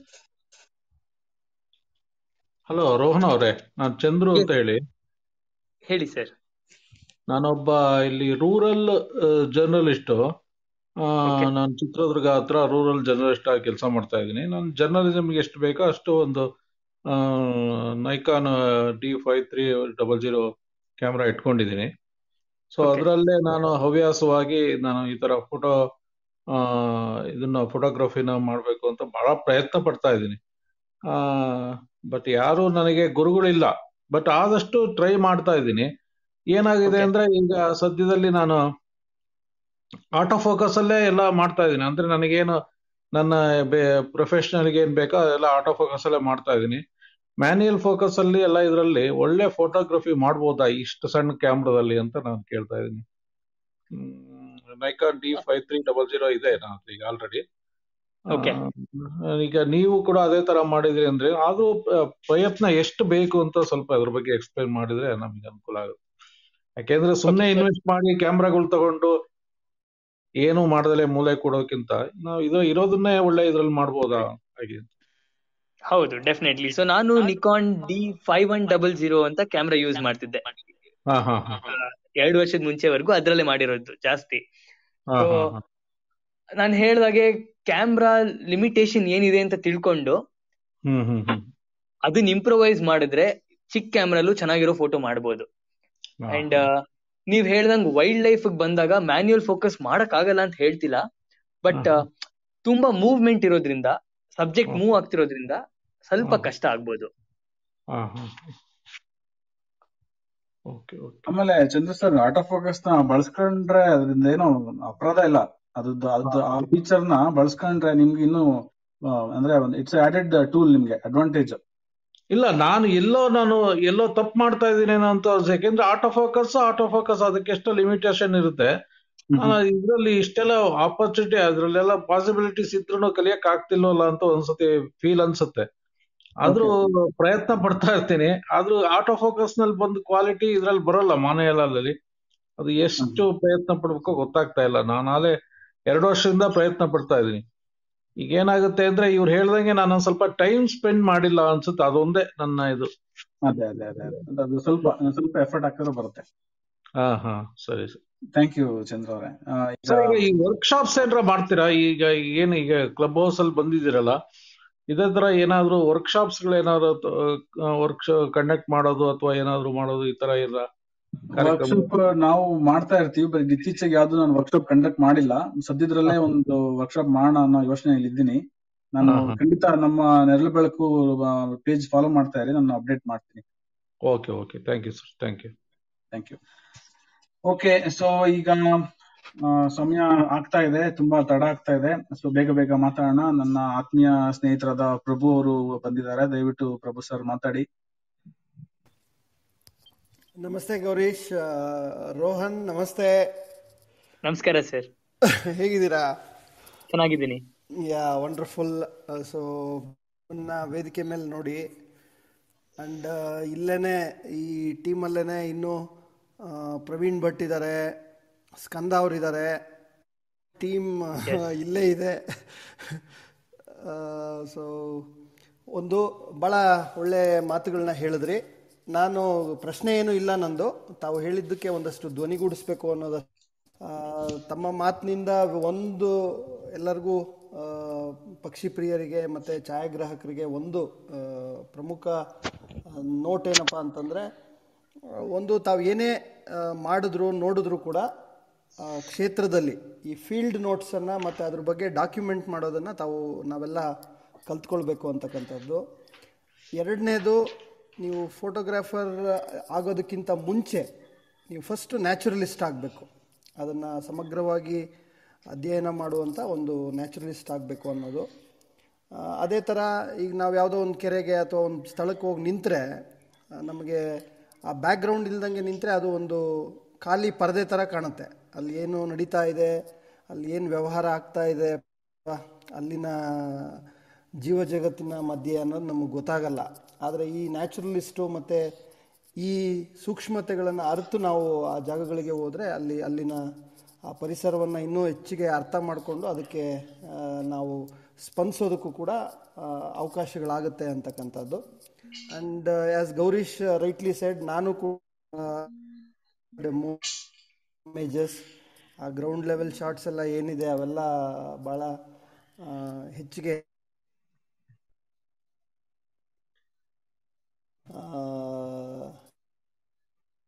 ಅದನ್ನ ಮುಂದುವರಿಸ್ತಾ ಇದ್ದೀರಾ ಅಂತ.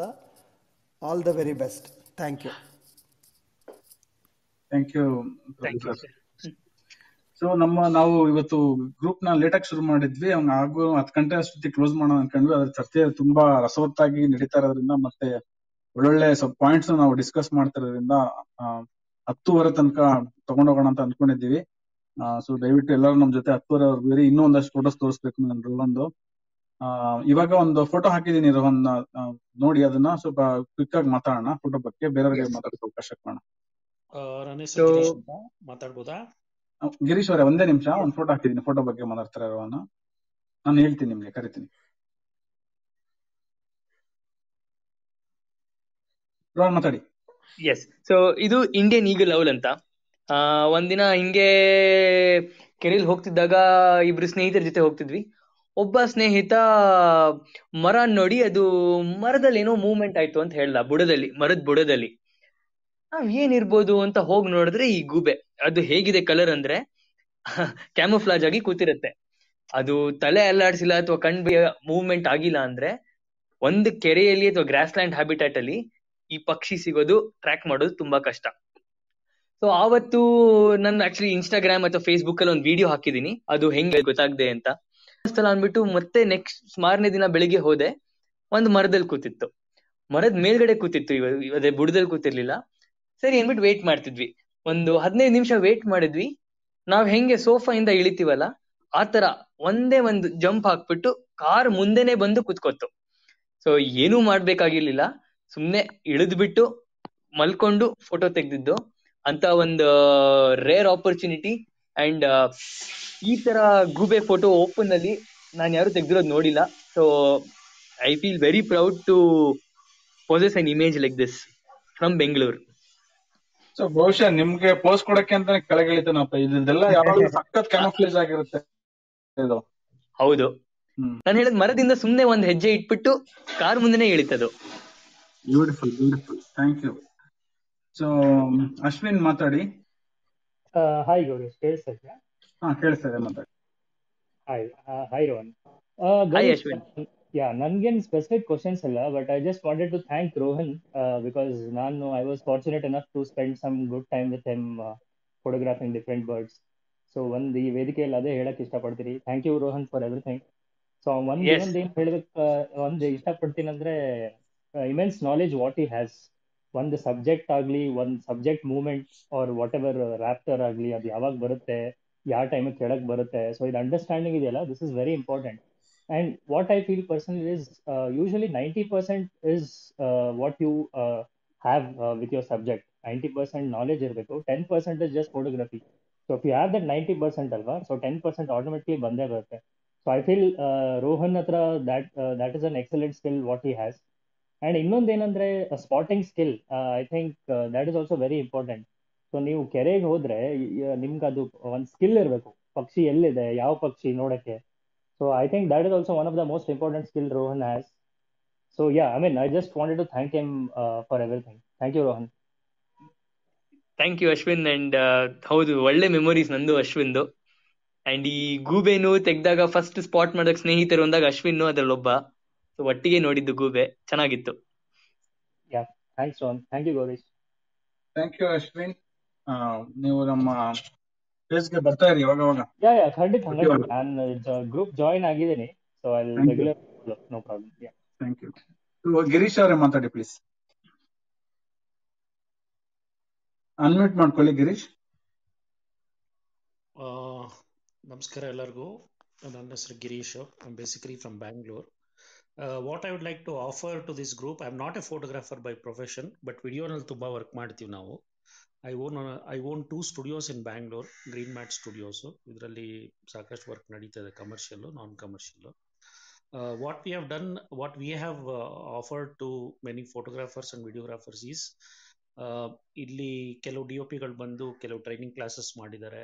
ಫ್ರೀಯಾಗೆ ಕೊಟ್ಟಿದ್ದೀವಿ ನಾವು ಸ್ಟುಡಿಯೋನ ಅದೇ ಥರ ಫೋಟೋಗ್ರಾಫಿಗೂ if people are interested and photography ಹೇಳ್ಕೊಡ್ಲಿಕ್ಕೆ ಅಥವಾ ಹೇಳಿಸ್ಕೊಳ್ಳೋರು, ಹೇಳ್ಕೊಡೋರು, ಇಬ್ರಿಗೂ ಬೇಕಾದ್ರೆ ಪ್ಲಾಟ್ಫಾರ್ಮ್ ಬೇಕಂದ್ರೆ they can visit my studio profile peanut studio ಅಂತ ನಿಮಗೆ ಲೊಕೇಶನ್ ಸಿಕ್ಕುತ್ತೆ you can get few photographs and we have a good terrace where uh, at least 100 people can assemble and uh, one can teach and also learn in the same uh, uh, platform that is what i can offer thank you thank you Girish thank you very much ಖಂಡಿತ ನಾವು ನಾವು contact ಮಾಡ್ತೀವಿ okay so ಇದು ನಮ್ಮ ನೆರಳು ಬೆಳಕು ತಂಡ. ನಾವು ಇದು ಪೇಜ್. ಸೊ ನಾವು ಇಲ್ಲಿ ಪ್ರತಿ ಮಂಗಳವಾರ ಒಬ್ಬ ವಿಶಿಷ್ಟ ಛಾಯಾಗ್ರಾಹಕನ ಕರ್ಕೊಂಡ್ಬಂದು ಇಲ್ಲಿ ಫೋಟೋಗ್ರಫಿ ಚರ್ಚೆ ಮಾಡ್ತೀವಿ. ದಯವಿಟ್ಟು ನಮ್ಮ ಪೇಜ್ನ ಫಾಲೋ ಮಾಡಿ, ಮತ್ತೆ ಪ್ರತಿ ಮಂಗಳವಾರ ತಪ್ಪದೆ ಎಂಟು ಗಂಟೆಗೆ ನಮ್ಮ ಜೊತೆ ಸೇರ್ಕೊಳ್ಳಿ. ನಮ್ಮ ಜ್ಞಾನನ ವಿಸ್ತರಿಸೋಣ. ಇದೇ ರೀತಿ ಚರ್ಚೆ ಮಾಡ್ಕೊಂಡು. ಸೊ ಈಗ ನೆಕ್ಸ್ಟ್ ನಾನು ಡಾಕ್ಟರ್ ಶಿಶುಪಾಲ ಸರ್ ಅವ್ರನ್ನ ಮಾತಾಡೋದಕ್ಕೆ ಕೇಳ್ಕೊತೀನಿ. ನಮಸ್ಕಾರ. ರೋಹನ್ ತುಂಬಾ ಚೆನ್ನಾಗಿತ್ತು. ನಿಮ್ ಮಾತು ಕೇಳ್ತಾ ಕೇಳ್ತಾನೆ ಫೇಸ್ಬುಕ್ ಅಲ್ಲಿ ನಿಮ್ಮ ಅಪ್ಲೋಡ್ ಮಾಡಿರೋ ಫೋಟೋಸ್ ಎಲ್ಲ ನೋಡ್ತಾ ಇದ್ದೆ. ಎಕ್ಸ್ಟ್ರಾಡಿನರಿ ನನಗೆ ಎರಡು ಬೇಸಿಕ್ ಡೌಟ್ಸ್ ಇದೆ. ಒಂದು ಆ, ಚೆನ್ನೈದು ಒಂದು group short toed ಸ್ನೇಕ್ನ with different snakes they have captured moments I am sure ನಿಮಗೆ ಗೊತ್ತಿರ್ಬೋದು ಅದು. ಹೌದು. ಇದರಲ್ಲಿ ತುಂಬಾ ಜನ ಅದ ಅದನ್ನ ಕ್ವಶನ್ ಮಾಡಿದ್ದಾರೆ. ಫೋಟೋಗ್ರಫಿ ಎಥಿಕ್ಸ್ ಬಗ್ಗೆ. ಅದು ಸ್ಟೇಜ್ ಮ್ಯಾನೇಜ್ಡ್ ಅಂತಾನು ತುಂಬಾ ಜನ ಕಮೆಂಟ್ ಮಾಡಿದ್ದಾರೆ.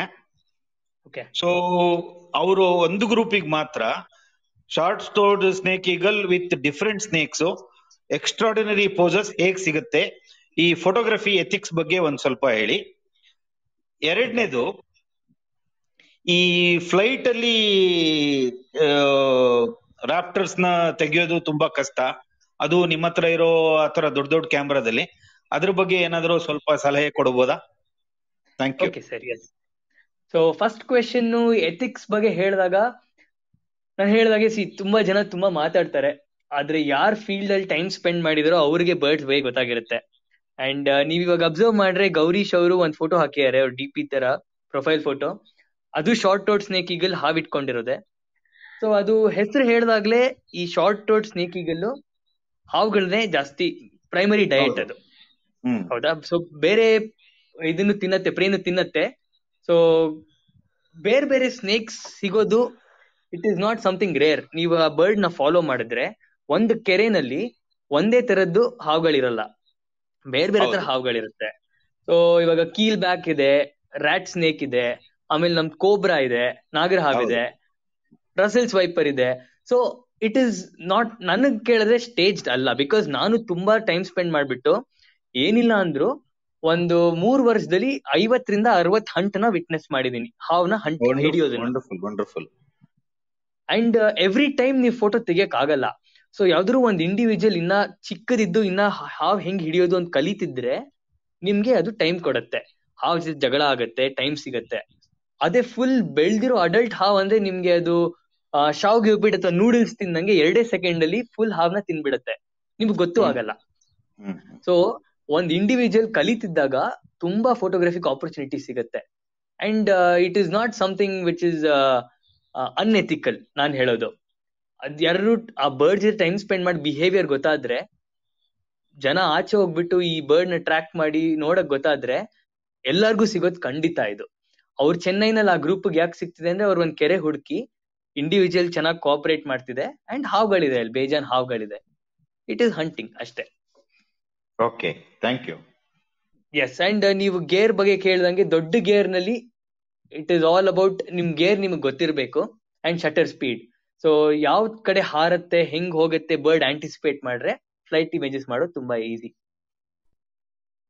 okay thank you so ಇದನ್ನ ಏನಂತಾರೆ ನನ್ನ ಶಾರ್ಟ್ ರೋಡ್ ಜೊತೆಗಿನ ಅನ- ಆ, ಒಡನಾಟ ಇದೆಯಲ್ಲ ಅಂದ್ರೆ ನನ್ನ ಅನುಭವ ಇದೆಯಲ್ಲ ಇದು ಎಂತ ಅಕ್ಕಿ ಅಂತಂದ್ರೆ ಇದ್ರದ ಸೆಳೆತಕ್ಕೆ ಸಿಕ್ಕಿದ್ರೆ ಮಾತ್ರ ನೀವು ನಾವು ಫೋಟೋಗ್ರಫಿ ಬೇಕಾಗೇ ಇಲ್ಲ ಅದನ್ನ ಸುಮಾರು ಸುಮ್ನೆ ನೋಡ್ಕೊಂಡ್ ಕೂತ್ರೆ ಸಾಕು. ಅದು ಇಟ್ಸ್ ಅನ್ ಅಮೇಸಿಂಗ್ ಬರ್ಡ್ ಇದು ಶಾರ್ಟ್ ರೋಡ್ ಸ್ನೇಕ್ ಈಗಲ್ ಆಯ್ತಾ?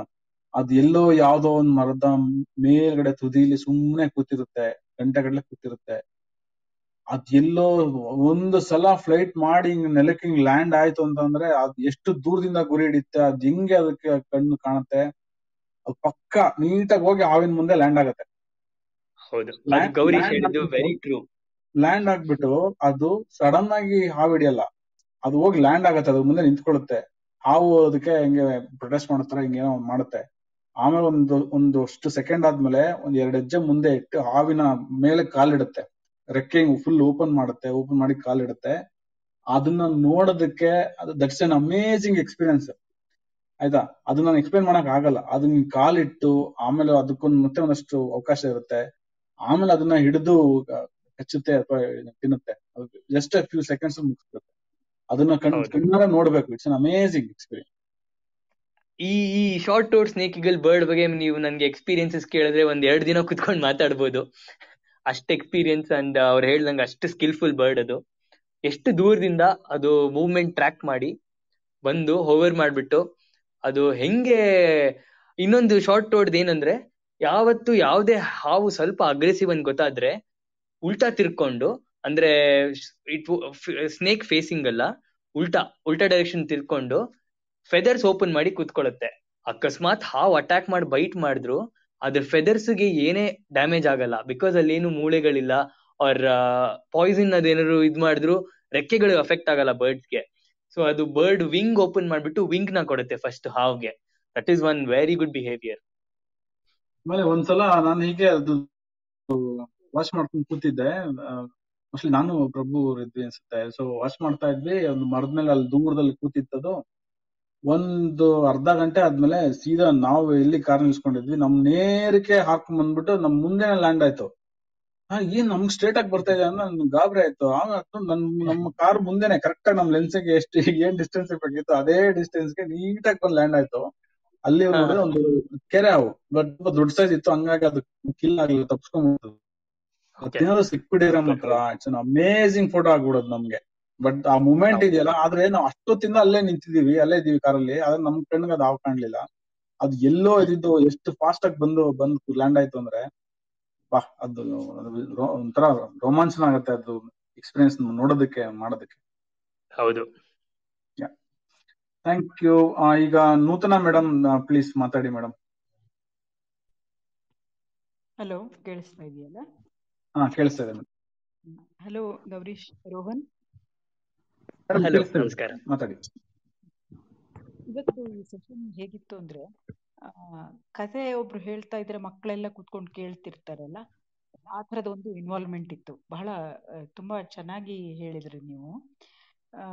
ಬಹುಶಃ ಆ ಚಿತ್ರ ತೋರಿಸ್ತಾ ಇರುವಾಗ್ಲೂ ನಿಮ್ಮ ಎಕ್ಸ್ಪ್ಲನೇಷನ್ ಮುಗ್ದಿದ್ದು ಆ ಆ ಪಾಸ್ ಇತ್ತಲ್ಲ ಪಾಸ್ ಉದ್ದ ಆಗೋಯ್ತು. ಯಾಕೆಂದ್ರೆ ಯಾರಿಗೂ ಆ ಫೋಟೋದಿಂದ ಅಥವಾ ನಿಮ್ಮ ಎಕ್ಸ್ಪ್ಲನೇಷನ್ ಇಂದ ಹೊರಗಡೆ ಬಂದೇ ಇರ್ಲಿಲ್ಲ. ಈಗ ನಾನು ಗಮನಿಸಿದ್ದು ನೀವು ಮಾತನಾಡಿದ್ರಲ್ಲಿ ಅಂದ್ರೆ ತುಂಬಾ ಸೂಕ್ಷ್ಮ ಗ್ರಹಿಕೆ ಇದೆ. ಆಮೇಲೆ ಈ, ಈಗ ಎಲ್ಲರೂ ಇಲ್ಲಿ ತುಂಬಾ ಜನ ಫೋಟೋಗ್ರಾಫರ್ಸ್ ಇರೋದ್ರಿಂದ ನಾನು ಒಂದು ವಿಷಯ ನನ್ಗೆ ಇವತ್ತು, ಇವತ್ತಿನ ಸೆಷನ್ ಕೇಳಿದಾಗ ಅನ್ಸಿದ್ದು ಅಂದ್ರೆ ತುಂಬಾ ಸೂಕ್ಷ್ಮ ಗ್ರಹಿಕೆ ಇರುತ್ತೆ. ಬಹಳ ಜೀವ ವೈವಿಧ್ಯನ ಬಹಳ ಡಿಫ್ರೆಂಟ್ ಆಗಿ ಹತ್ತಿರದಿಂದ ನೋಡಿರ್ತೀರಾ. ಈಗ ರೋಹನ್ ಸಾಕಷ್ಟು ಕಥೆಗಳನ್ನು ಹೇಳಿದ್ರು. ಈಗ ಬಿಹೇವಿಯರಲ್ ಪ್ಯಾಟರ್ನ್ಸ್ ಅದನ್ನೆಲ್ಲ ತುಂಬಾ ಹೇಳಿದ್ರು ಬಿಹೇವಿಯರ್ ಬರ್ಡ್ ಬಿಹೇವಿಯರ್ ಅದೆಲ್ಲ ತುಂಬಾ ಹೇಳಿದ್ರು.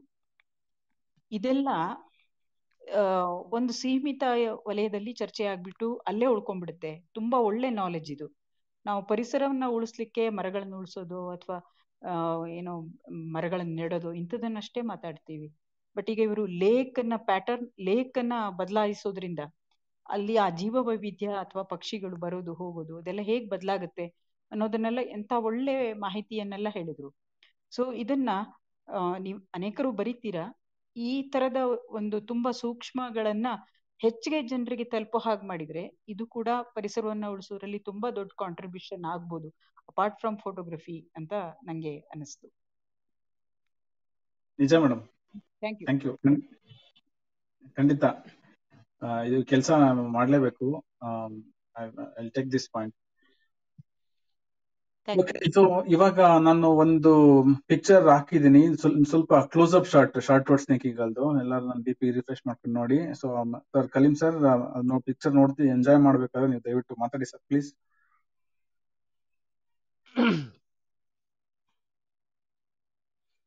ಆ, ಕೇಳಿಸ್ತಿದ್ಯಾ? ಓ ಪರ್ಫೆಕ್ಟ್ ಆಗಿ ಕೇಳಿಸ್ತಿದೆ ಸರ್. ಮಾತಾಡಿ ಸರ್.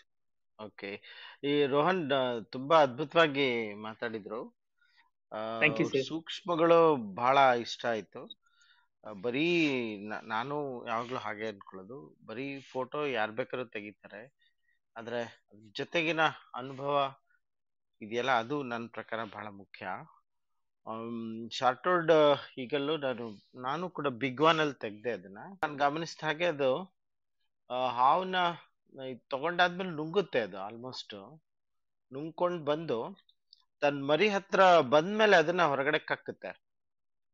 ಆಮೇಲೆ ಅದು ಮರಿಗೆ ಫೀಡ್ ಮಾಡ್ತಾ ಹೋಗುತ್ತೆ. ಹ್ಮ್ ಅದನ್ನ ಒಂದು ಗಮನಿಸಿದೆ. ನಾನು ನಾನ್ ನೋಡಿದ ಇನ್ನೊಂದು ಅದ್ಭುತ ಏನಂದ್ರೆ ಆ ಎರಡೂ ಇದ್ವು ಹೆಣ್ಣು ಗಂಡು. ಹೆಣ್ಣು ತಂದು ಕೊಡಬೇಕು ಕೊಡ್ಬೇಕು ಅಂತ ಬಂತು. ಆದ್ರೆ ಬರೋಕ್ ಮೊದ್ಲು ಒಂದ್ ಕಡೆಗೆ ಲ್ಯಾಂಡ್ ಆಯ್ತದು. ಲ್ಯಾಂಡ್ ಆದಾಗ ಗಂಡು ಬಂದು ಅದ್ರ ಮೇಲೆ ಕೂತ್ಕೊಂಡು ಮೇಟಿಂಗ್ ನಡೀತು. ಆ ಹೆಣ್ಣಿನ ಬಾಯಲ್ಲಿ ಹಾವಿದೆ ಮೇಲಿಂದ ಮೇಟಿಂಗ್ ನಡೀತಾ ಇದೆ. ಅದು ಬಹಳ ಅಚಾನಕ್ ಆಗಿ ನಡೀತು. ಆದ್ರೆ ಲೈಟಿಂಗು ಮತ್ತೆ ಅದ್ ಕೂತಿರೋ ಜಾಗ ನಮ್ಗೆ ಅಷ್ಟು ಚೆನ್ನಾಗಿ ಇರ್ಲಿಲ್ಲ. ಆದರೂ ನೋಡಕ್ಕೆ ಸಾಧ್ಯ ಆಯ್ತು. ಒಂದಿಷ್ಟು ಫೋಟೋ ಕೂಡ ತೆಗಿತೀವಿ ನಾವು. ಅದ್ ನೀವ್ ಹೇಳ್ದಾಗೆ ಅದು ಬಹಳ ಹೊತ್ತು ಹಾರಾಡ್ತಾನೆ ಇರುತ್ತೆ ಬಾಯಲ್ಲಿ ಇಟ್ಕೊಂಡು. ಆ, ಆಮೇಲೆ ನಾನು ಇನ್ನೊಂದು ಗಮನಿಸಿದ್ದೇನೆಂದ್ರೆ ಮತ್ತೆ ಗಂಡು ಹೆಣ್ಣುಗಳು ಇನ್ನೊಂದ್ ಕಡೆಗೆ ಇನ್ನೊಂದ್ ಮರದಲ್ಲಿ ಹೋಗಿ ಕೂತು ಅದನ್ನ ಹರಿದು ಶೇರ್ ಮಾಡಿದ್ವು. ಅಂದ್ರೆ ಹಾವನ್ನ ಹರಿದು ಎರಡು ಪೀಸ್ ತರ ಮಾಡಿ ಆಮೇಲೆ ತಗೊಂಡೋಗಿ ಸರದಿ ಪ್ರಕಾರ ತಿನ್ಸಿದ್ವು. ನನ್ಗನ್ಸೋದು ಅದು ಹಾವು ಬಾಯಲ್ಲಿ ಇಟ್ಕೊಳ್ಳುತ್ತಲ್ಲ ಅದು ಸ್ವಲ್ಪ ಡೈಜೆಷನ್ ಆಗಿ ಮಗುಗೆ ತಿನ್ಸೋದಕ್ಕೆ ಈ ಅನ್ನ ಕ್ಯೂಚ್ ಕೊಡ್ತಾರಲ್ಲ ಮಕ್ಕಳಿಗೆ ಆ ತರದ್ ಏನಾದ್ರು ಒಂದು ಡೈಜೆಷನ್ ಅಂದ್ರೆ ಹಾಫ್ ಡೈಜೆಷನ್ ತರ ಮಾಡ್ಬಿಟ್ಟು ತಿನ್ಸುತ್ತಾ? ಅದು ಹೊಟ್ಟೆ ಒಳಗ್ ಹೋದಾಗ ಈ ಥರದ್ದು ಏನಾದ್ರು ಆಗುತ್ತಾ ಅನ್ನೋದು ನನ್ಗೆ ಗೊತ್ತಿಲ್ಲ. ಅದ್ರ ಬಗ್ಗೆ ಏನಾದ್ರು ಹೇಳಕ್ಕಾಗುತ್ತಾ ರೋಹನ್?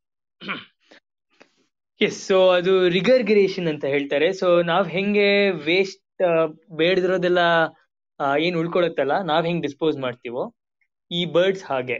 ಸೊ ಒಂದಷ್ಟು ಏನ್ ಬೇಡದಿರೋದಿರುತ್ತೋ ಒಂದ್ ಪೆಲೆಟ್ ತರ ಅಂದ್ರೆ ಉಂಡೆ ತರ ಚಿಕ್ಕ ಉಂಡೆ ತರ ವಾಪಸ್ ಆಚೆ ಹಾಕತ್ತೆ. ಅಂಡ್ ನೀವ್ ಫೀಡಿಂಗ್ ಬಗ್ಗೆ ಹೇಳಿದ್ರಲ್ಲ ರ್ಯಾಪ್ಟರ್ಸ್ ಮೋಸ್ಟ್ಲಿ ಹಂಗೆ ಮಾಡುತ್ತೆ. ಇದು ಹೆಂಗ್ ಹಾವ್ ಇಟ್ಕೊಂಡು ಹೋಗುತ್ತೋ ಹಂಗೆ ಎಷ್ಟೊಂದಿದು ಇದು ಏನಕ್ ಕಕ್ಕೋದು ಅಂದ್ರೆ ಅದೇನಂದ್ರೆ ಒಂದಷ್ಟು ಏನಾಗುತ್ತೆ ಕೆಲವು ಚಿಕ್ಕ ಮಕ್ಕಳಿಗೆ ಫುಲ್ ಡೈಜೆಸ್ಟ್ ಮಾಡ್ಕೊಳಕ್ ಆಗಲ್ಲ. ಸೊ ಇದು ಈಗಲ್ ಏನಿದೆ ಒಳಗಡೆ ತಗೊಂಡು ಸ್ವಲ್ಪ ಅದನ್ನ ಒಂಥರ ಹೆಂಗೆ ನಾವು ಮಕ್ಕಳಿಗೆ ಗಂಜಿ ತಿನ್ಸ್ತೀವಿ ಅನ್ನ ತಿನ್ಸಲ್ವಲ್ಲ? ಅದೇ ತರ ಸ್ವಲ್ಪ ಬೇರೆ ಫಾರ್ಮ್ನ ಇದ್ ಮಾಡ್ಬಿಟ್ಟು ಮಕ್ಳಿಗೆ ಕೊಡುತ್ತೆ ಅದು. ಓಕೆ ಆಮೇಲೆ ಗಂಡು ಹೆಣ್ಣು ಕೂತು ಅದನ್ನ ಸಿಗ್ದು ಶೇರ್ ಮಾಡಿದ್ವು. ಅಂದ್ರೆ ಅದನ್ನ ಹರಿದು ಹರಿದು ಹಾವು ದೊಡ್ಡದಿತ್ತಲ್ಲ?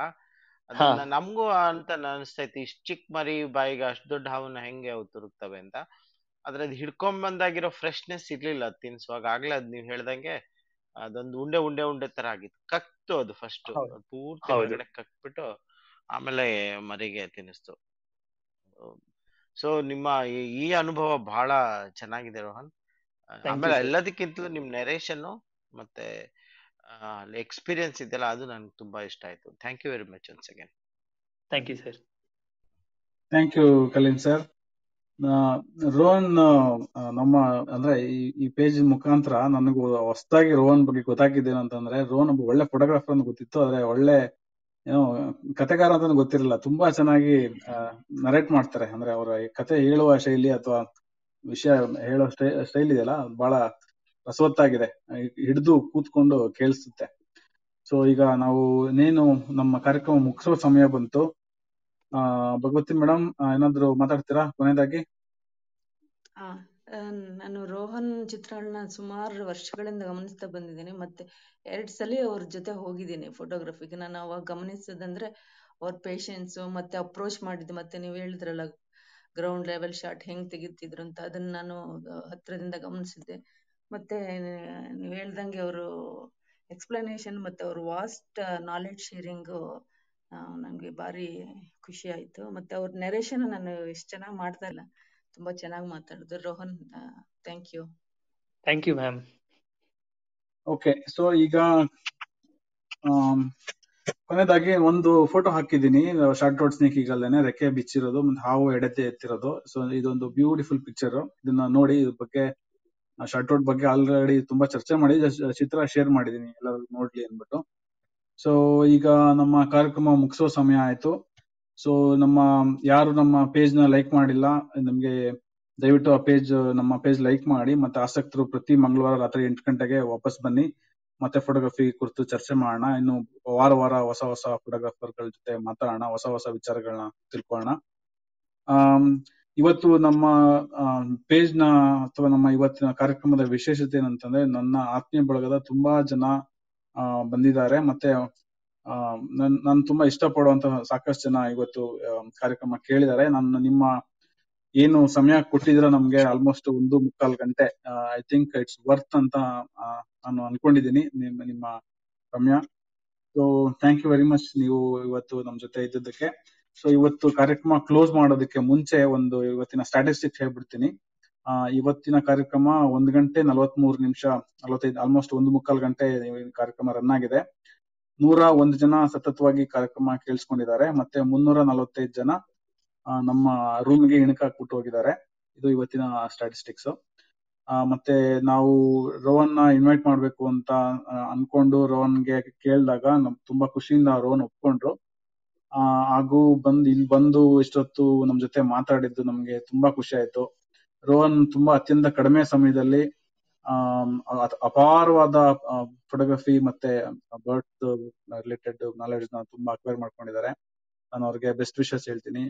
Is an young photographer but ಅವ್ರ ನಾಲೆಡ್ಜ್ ಯಾವುದೇ ಸೀನಿಯರ್ ಫೋಟೋಗ್ರಾಫರ್ ಗಿಂತ ಏನ್ ಕಡಿಮೆ ಇಲ್ಲ.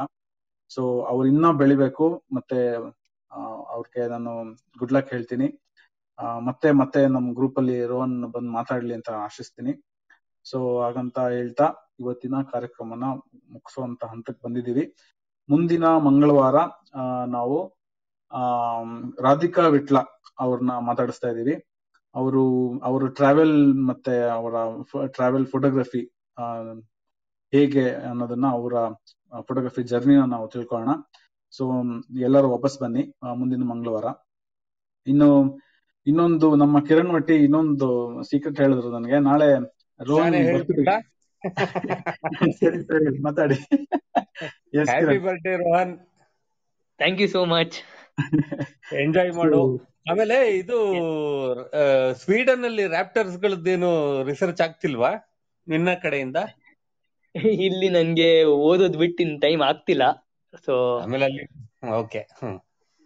And waiting for aurora borealis photos okay ಈ ಸೀಸನ್ ಹೋಗ್ತಿದ್ದೀನಿ. Thank you all the best all the best bye okay ನೆರಳು ಬೆಳಕು ತಂಡದಿಂದ ನಾವು ನಮ್ಮ ರೂಮ್ ಇಂದ ರೋಹನ್ಗೆ ಹುಟ್ಟುಹಬ್ಬದ ಶುಭಾಶಯಗಳು. ಮತ್ತೆ ಥ್ಯಾಂಕ್ ಯು ರೋಹನ್ ಬಂದಿದ್ದಕ್ಕೆ. Thank you so much for this opportunity and all the audience for attending thank you so much yeah ಎಲ್ಲರಿಗೂ ಶುಭರಾತ್ರಿ. ಮತ್ತೆ ಮುಂದಿನ ಮಂಗಳವಾರ ಭೇಟಿಯಾಗೋಣ. ಥ್ಯಾಂಕ್ ಯು ರೂಮ್ನ ಕ್ಲೋಸ್ ಮಾಡ್ತಾ ಇದ್ದೀನಿ. Thank you